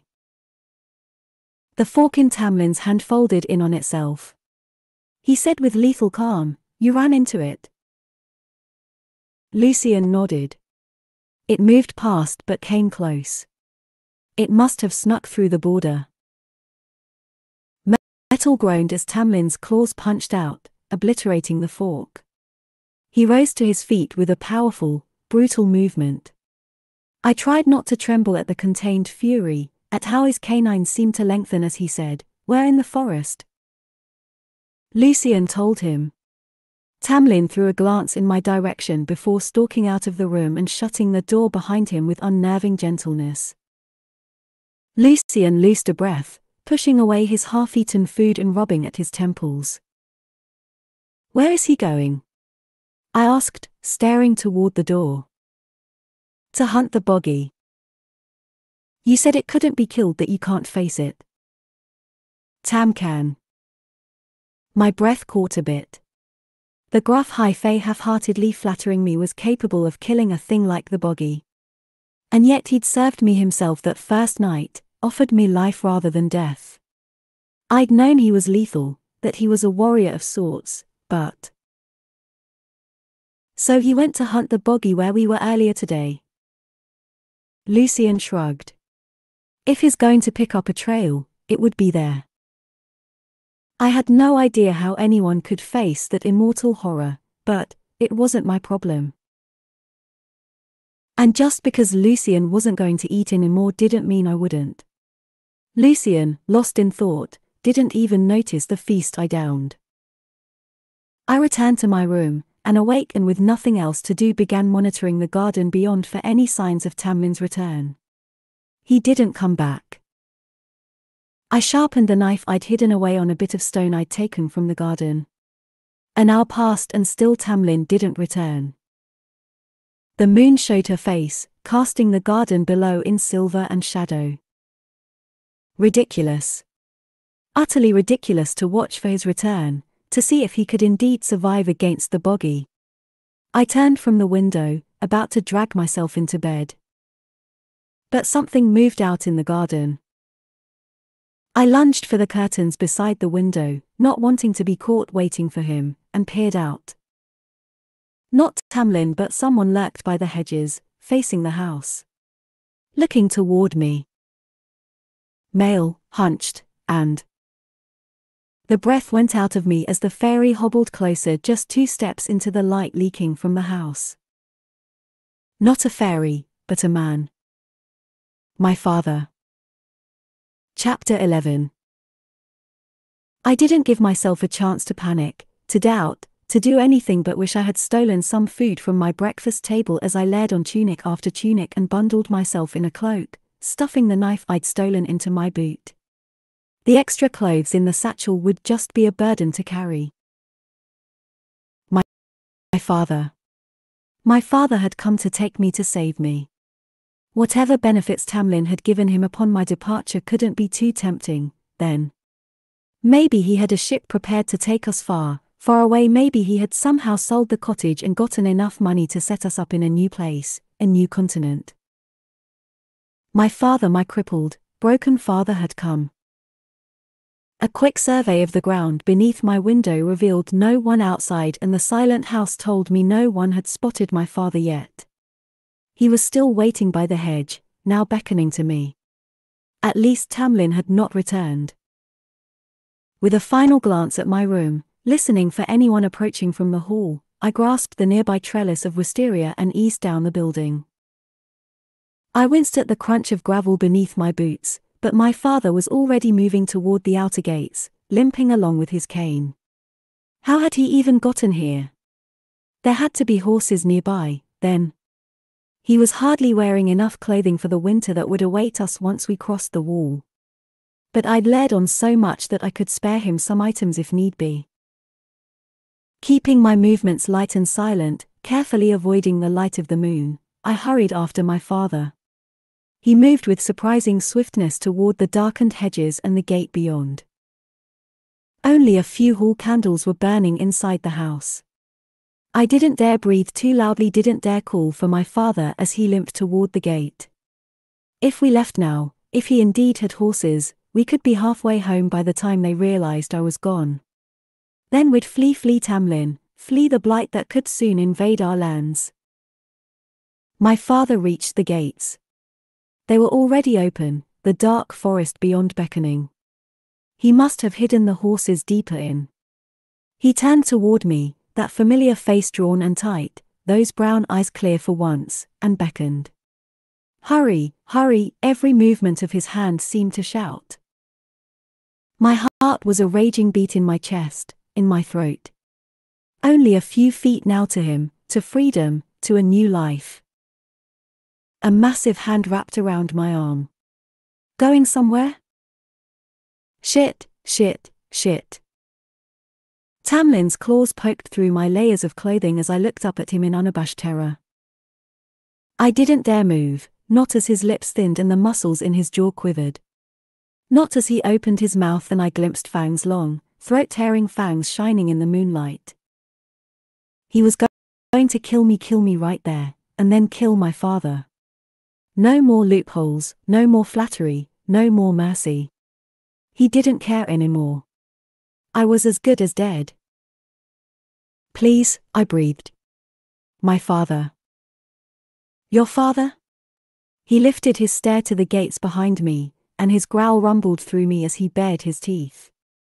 Why don't you look again? He released me. I staggered back a step, whirling, sucking in a breath to tell my father to run, but. But he wasn't there. Only a pale bow and a quiver of pale arrows remained, propped up against the gates. Mountain ash. They hadn't been there moments before, hadn't. They rippled, as if they were nothing but water, and then the bow and quiver became a large pack, laden with supplies.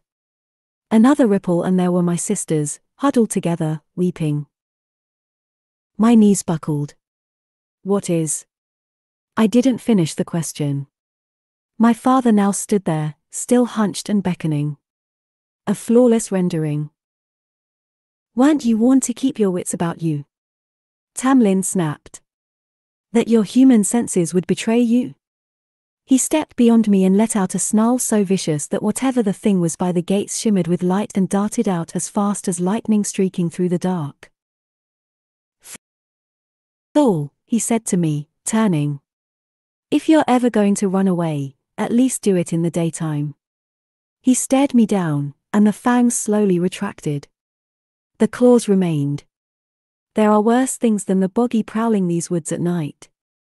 That thing at the gates isn't one of them, and it still would have taken a good, long while devouring you. Somehow, my mouth began working again. And of all the things to say, I blurted, Can you blame me? My crippled father appears beneath my window, and you think I'm not going to run for him? Did you actually think I'd gladly stay here forever, even if you'd taken care of my family, all for some treaty that had nothing to do with me and allows your kind to slaughter humans as you see fit. He flexed his fingers as if trying to get the claws back in, but they remained out, ready to slice through flesh and bone. What do you want, Feyre? I want to go home. Home to what, exactly? You'd prefer that miserable human existence to this. I made a promise, I said, my breathing ragged. To my mother, when she died.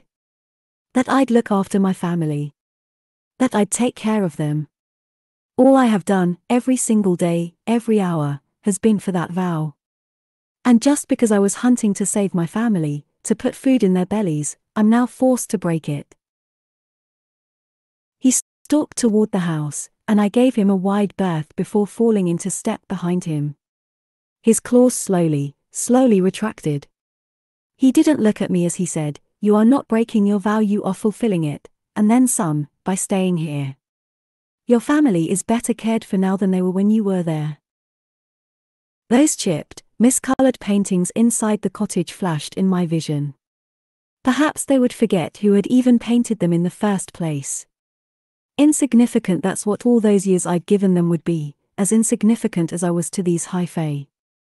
And that dream I'd had, of one day living with my father, with enough food and money and paint, it had been my dream, no one else's. I rubbed at my chest. I can't just give up on it, on them. No matter what you say. Even if I had been a fool, a stupid, human fool to believe my father would ever actually come for me. Tamlin eyed me sidelong. You're not giving up on them. Living in luxury, stuffing myself with food. How is that not? They are cared for, they are fed and comfortable. Fed and comfortable. If he couldn't lie, if it was true, then, then it was beyond anything I'd ever dared hope for. Then, my vow to my mother was fulfilled. It stunned me enough that I didn't say anything for a moment as we walked. My life was now owned by the treaty, but, perhaps I'd been freed in another sort of way. We neared the sweeping stairs that led into the manor, and I finally asked, Lucien goes on border patrol, and you've mentioned other sentries yet I've never seen one here. Where are they all? At the border, he said, as if that were a suitable answer. Then he added, We don't need sentries if I'm here. Because he was deadly enough. I tried not to think about it, but still I asked, Were you trained as a warrior, then? Yes. When I didn't reply, he added, I spent most of my life in my father's war band on the borders, training as a warrior to one day serve him or others. Running these lands was not supposed to fall to me. The flatness with which he said it told me enough about how he felt about his current title, about why the presence of his silver tongued friend was necessary. But it was too personal, too demanding, to ask what had occurred to change his circumstances so greatly. So I cleared my throat and said, What manner of fairies prowl the woods beyond this gate, if the Bogge isn't the worst of them? What was that thing? What I'd meant to ask was, what would have tormented and then eaten me? Who are you to be so powerful that they pose no threat to you? He paused on the bottom step, waiting for me to catch up. A puca. They use your own desires to lure you to some remote place. Then they eat you. Slowly. It probably smelled your human scent in the woods and followed it to the house. I shivered and didn't bother to hide it. Tamlin went on. These lands used to be well guarded. The deadlier fairies were contained within the borders of their native territories, monitored by the local Fae lords, or driven into hiding. Creatures like the puca never would have dared set foot here. But now, the sickness that infected Prythian has weakened the wards that kept them out. A long pause, like the words were choked out of him. Things are different now. It's not safe to travel alone at night, especially if you're human. Because humans were defenseless as babes compared to natural born predators like Lucien and Tamlin, who didn't need weapons to hunt. I glanced at his hands but found no trace of the claws. Only tanned, calloused skin. What else is different now? I asked, trailing him up the marble front steps. He didn't stop this time, didn't even look over his shoulder to see me as he said, everything. So I truly was to live there forever. As much as I longed to ensure that Tamlin's word about caring for my family was true, as much as his claim that I was taking better care of my family by staying away even if I was truly fulfilling that vow to my mother by staying in Prythian. Without the weight of that promise, I was left hollow and empty. Over the next three days, I found myself joining Lucien on Andras's old patrol while Tamlin hunted the grounds for the Bogge, unseen by us. Despite being an occasional bastard, Lucien didn't seem to mind my company, and he did most of the talking, which was fine, it left me to brood over the consequences of firing a single arrow. An arrow. I never fired a single one during those three days we rode along the border. That very morning I'd spied a red doe in a glen and aimed out of instinct, my arrow poised to fly right into her eye as Lucien sneered that she was not a fairy, at least. But I'd stared at her fat and healthy and content and then slackened the bow, replaced the arrow in my quiver, and let the doe wander on. I ne- never saw Tamlin around the manor off hunting the Bogge day and night, Lucien informed me. Even at dinner, he spoke little before leaving early off to continue his hunt, night after night. I didn't mind his absence. It was a relief, if anything. On the third night after my encounter with the puca, I'd scarcely sat down before Tamlin got up, giving an excuse about not wanting to waste hunting time. Lucien and I stared after him for a moment. What I could see of Lucien's face was pale and tight. You worry about him, I said. Lucien slumped in his seat, wholly undignified for a Fae Lord. Tamlin gets into moods. He doesn't want your help hunting the Bogge. He pr- prefers being alone. And having the Bogge on our lands. I don't suppose you'd understand. The puca are minor enough not to bother him, but even after he's shredded the Bogge, he'll brood over it. And there's no one who can help him at all? He would probably shred them for disobeying his order to stay away. A brush of ice slithered across my nape. He would be that brutal. Lucien studied the wine in his goblet. You don't hold on to power by being everyone's friend. And among the fairies, lesser and high fae alike, a firm hand is needed. We're too powerful, and too bored with immortality, to be checked by anything else. It seemed like a cold, lonely position to have, especially when you didn't particularly want it. I wasn't sure why it bothered me so much. The snow was falling, thick and merciless, already up to my knees as I pulled the bowstring back farther and farther, until my arm trembled. Behind me, a shadow lurked no, watched. I didn't dare turn to look at it, to see who might be within that shadow, observing, not as the wolf stared at me across the clearing. Just staring. As if waiting, as if daring me to fire the ash arrow. No, no, I didn't want to do it, not this time, not again, not. But I had no control over my fingers, absolutely none, and he was still staring as I fired. One shot, one shot straight through that golden eye. A plume of blood splattering the snow, a thud of a heavy body, a sigh of wind. No. It wasn't a wolf that hit the snow, no, it was a man, tall and well formed. No, not a man. A high with those pointed ears. I blinked, and then then my hands were warm and sticky with blood, then his body was red and skinless, steaming in the cold, and it was his skin his skin that I held in my hands, and I threw myself awake, sweat slipping down my back, and forced myself to breathe, to open my eyes and note each detail of the night dark bedroom. Real this was real. But I could still see that high fae male face down in the snow, my arrow through his eye, red and bloody all over from where I'd cut and peeled off his skin. Bile stung my throat. Not real. Just a dream. Even if what I'd done to Andras, even as a wolf, was, was. I scrubbed at my face. Perhaps it was the quiet, the hollowness, of the past few days, perhaps it was only that I no longer had to think hour to hour about how to keep my family alive, but. It was regret, and maybe shame, that coated my tongue, my bones. I shuddered as if I could fling it off, and kicked back the sheets to rise from the bed. Chapter 12 I couldn't entirely shake the horror, the gore of my dream as I walked down the dark halls of the manor, the servants and Lucien long since asleep. But I had to do something anything after that nightmare. If only to avoid sleeping. A bit of paper in one hand and a pen gripped in the other, I carefully traced my steps, noting the windows and doors and exits, occasionally jotting down vague sketches and excess on the parchment. It was the best I could do, and to any literate human, my markings would have made no sense.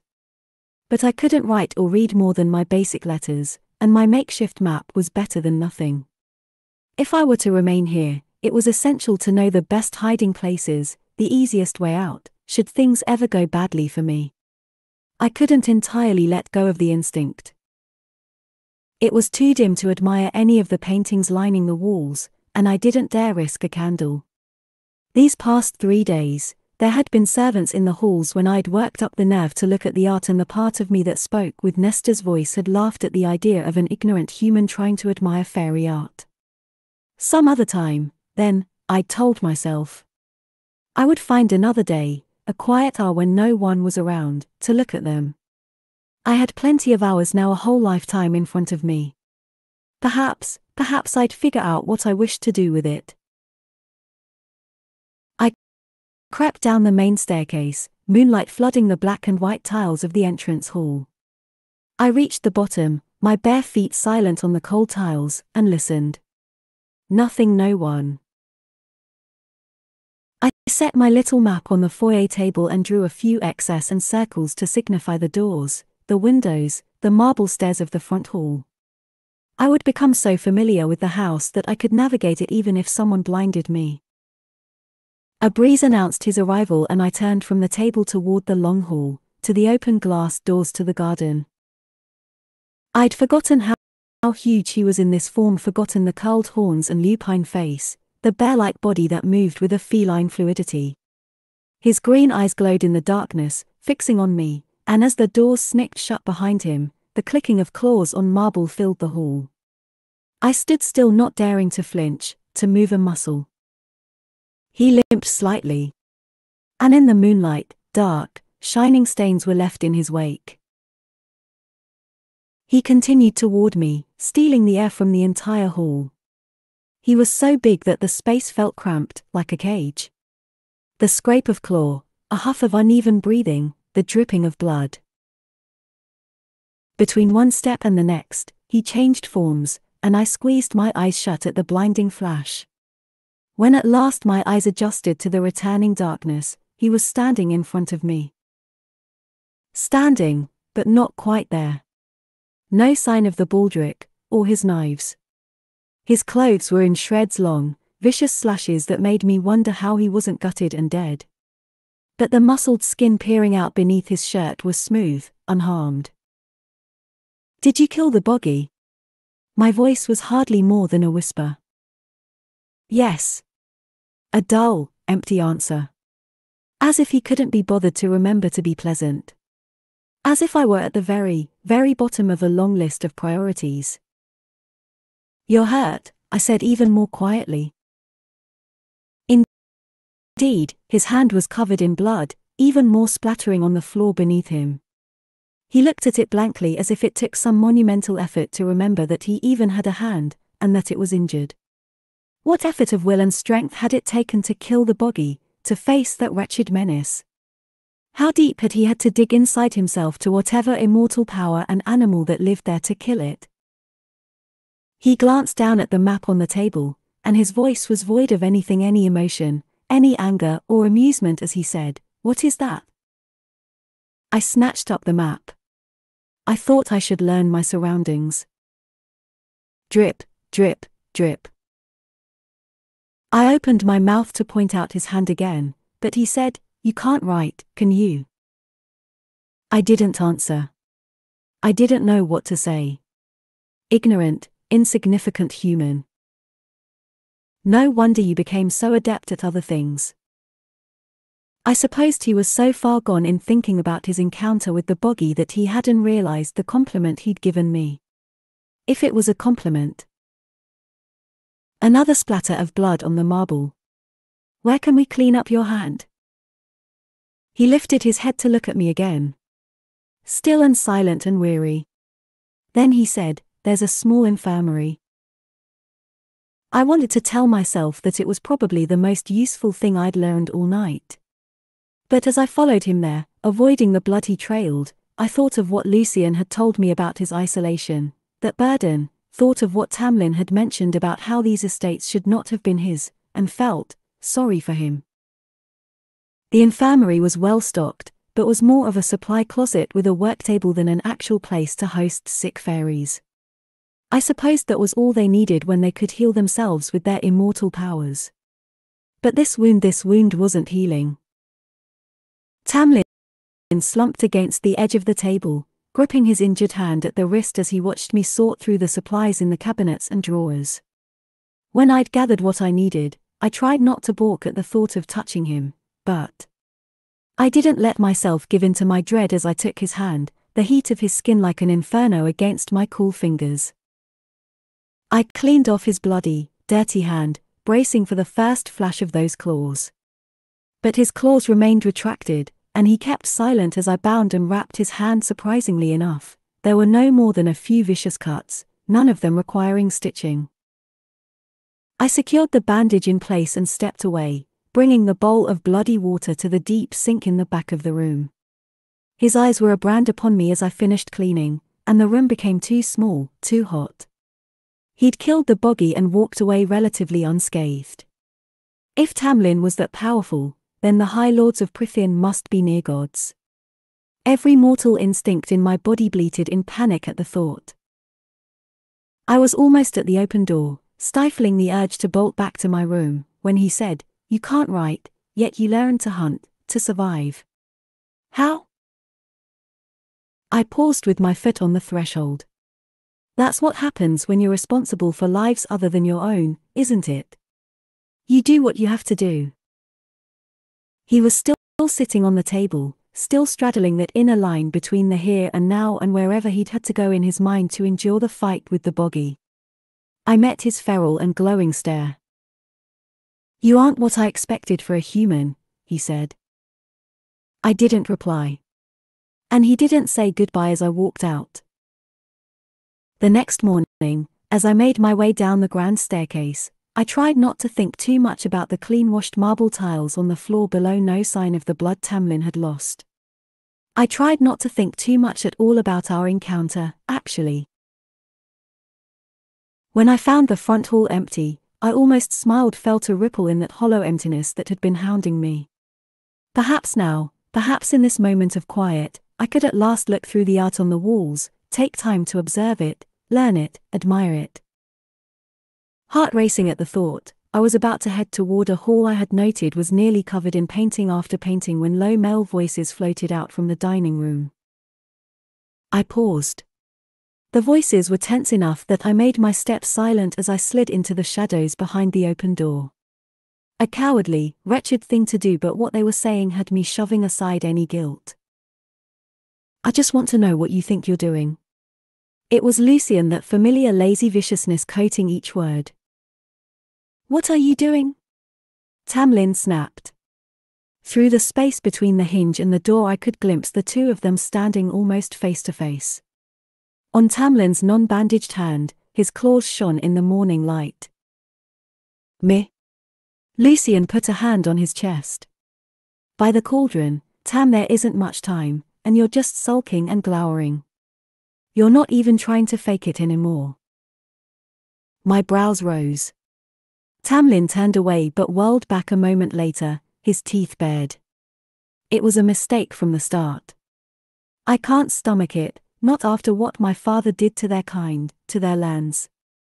I won't follow in his footsteps, won't be that sort of person. So back off. Back off. Back off while you seal our fates and ruin everything. I stayed with you out of hope, not to watch you stumble. For someone with a heart of stone, yours is certainly soft these days. The Bogge was on our lands, the Bogge, Tamlin. The barriers between courts have vanished, and even our woods are teeming with filth like the puca. Are you just going to start living out there, slaughtering every bit of vermin that slinks in? Watch your mouth, Tamlin said. Lucien stepped toward him, exposing his teeth as well. A pulsing kind of air hit me in the stomach, and a metallic stench filled my nose. But I couldn't see any magic, only feel it. I couldn't tell if that made it worse. Don't push me, Lucien. Tamlin's tone became dangerously quiet, and the hair on the back of my neck stood as he emitted a growl that was pure animal. You think I don't know what's happening on my own lands? What I've got to lose? What's lost already? The blight. Perhaps it was contained, but it seemed it was still wreaking havoc, still a threat, and perhaps one they truly didn't want me knowing about, either from lack of trust or because, because I was no one and nothing to them. I leaned forward, but as I did, my finger slipped and softly thudded against the door. A human might not have heard, but both Fae whirled. My heart stumbled. I stepped toward the threshold, clearing my throat as I came up with a dozen excuses to shield myself. I looked at Lucien and forced myself to smile. His eyes widened, and I had to wonder if it was because of that smile, or because I looked truly guilty. Are you going out for a ride? I said, feeling a bit sick as I gestured behind me with a thumb. I hadn't planned on riding with him today, but it sounded like a decent excuse. Lucien's russet eye was bright, though the smile he gave me didn't meet it. The face of Tamlin's emissary more court trained and calculating than I'd seen him yet. I'm unavailable today, he said. He jacked his chin to Tamlin. He'll go with you. Tamlin shot his friend a look of disdain that he took few pains to hide. His usual baldric was armed with more knives than I'd seen before, and their ornate metal handles glinted as he turned to me, his shoulders tight. Whenever you want to go, just say so. The claws of his free hand slipped back under his skin. No. I almost said it aloud as I turned pleading eyes to Lucien. Lucien merely patted my shoulder as he passed by. Perhaps tomorrow, human. Alone with Tamlin, I swallowed hard. He stood there, waiting. I don't want to go for a hunt, I finally said quietly. True. I hate hunting. He cocked his head. Then what do you want to do? Tamlin led me down the halls. A soft breeze laced with the scent of roses slipped in through the open windows to caress my face. You've been going for hunts, Tamlin said at last, but you really don't have any interest in hunting. He cast me a sidelong glance. No wonder you two never catch anything. No trace of the hollow, cold warrior of the night before, or of the angry Fae noble of minutes before. Just Tamlin right now, it seemed. I'd be a fool to let my guard down around Tamlin, to think that his acting naturally meant anything, especially when something was so clearly amiss at his estate. He'd taken down the Bogge and that made him the most dangerous creature I'd ever encountered. I didn't quite know what to make of him, and said somewhat stiltedly, How's your hand? He flexed his bandaged hand, studying the white bindings, stark and clean against his sun kissed skin. I didn't thank you. You don't need to. But he sh- shook his head, and his golden hair caught and held the morning light as if it were spun from the sun itself. The Bogge's bite was crafted to slow the healing of High Fae long enough to kill us. You have my gratitude. When I shrugged it off, he added, how did you learn to bind wounds like this? I can still use the hand, even with the wrappings. Trial and error. I had to be able to pull a bowstring the next day. He was quiet as we turned down another sun-drenched marble hallway, and I dared to look at him. I found him carefully studying me, his lips in a thin line. Has anyone ever taken care of you? he asked quietly. No. I'd long since stopped feeling sorry for myself about it. Did you learn to hunt in a similar manner trial and error? I spied on hunters when I could get away with it, and then practiced until I hit something. When I missed, we didn't eat. So learning how to aim was the first thing I figured out. I'm curious, he said casually. The amber in his green eyes was glowing. Perhaps not all traces of that beast warrior were gone. Are you ever going to use that knife you stole from my table? I stiffened. How did you know? Beneath the mask, I could have sworn his brows were raised. I was trained to notice those things. But I could smell the fear on you, more than anything. I grumbled, I thought no one noticed. He gave me a crooked smile, more genuine than all the fake smiles and flattery he'd given me before. Regardless of the treaty, if you want to stand a chance at escaping my kind, you'll need to think more creatively than stealing dinner knives. But with your affinity for eavesdropping, maybe you'll someday learn something valuable. Ears flared with heat. I, I wasn't. Sorry, I mumbled. But I ran through what I'd overheard. There was no point in pretending I hadn't eavesdropped. Lucien said you didn't have much time. What did he mean? Are more creatures like the Bogge going to come here thanks to the blight? Tamlin went rigid, scanning the hall around us, taking in every sight and sound and scent. Then he shrugged, too stiff to be genuine. I'm an immortal. I have nothing but time, Feyre. He said my name with such intimacy. As if he weren't a creature capable of killing monsters made from nightmares. I opened my mouth to demand more of an answer, but he cut me off. The force plaguing our lands and powers that, too, will pass someday, if we're cauldron blessed. But yes, now that the Bogge entered these lands, I'd say it's fair to assume others might follow it, especially if the puca was already so bold.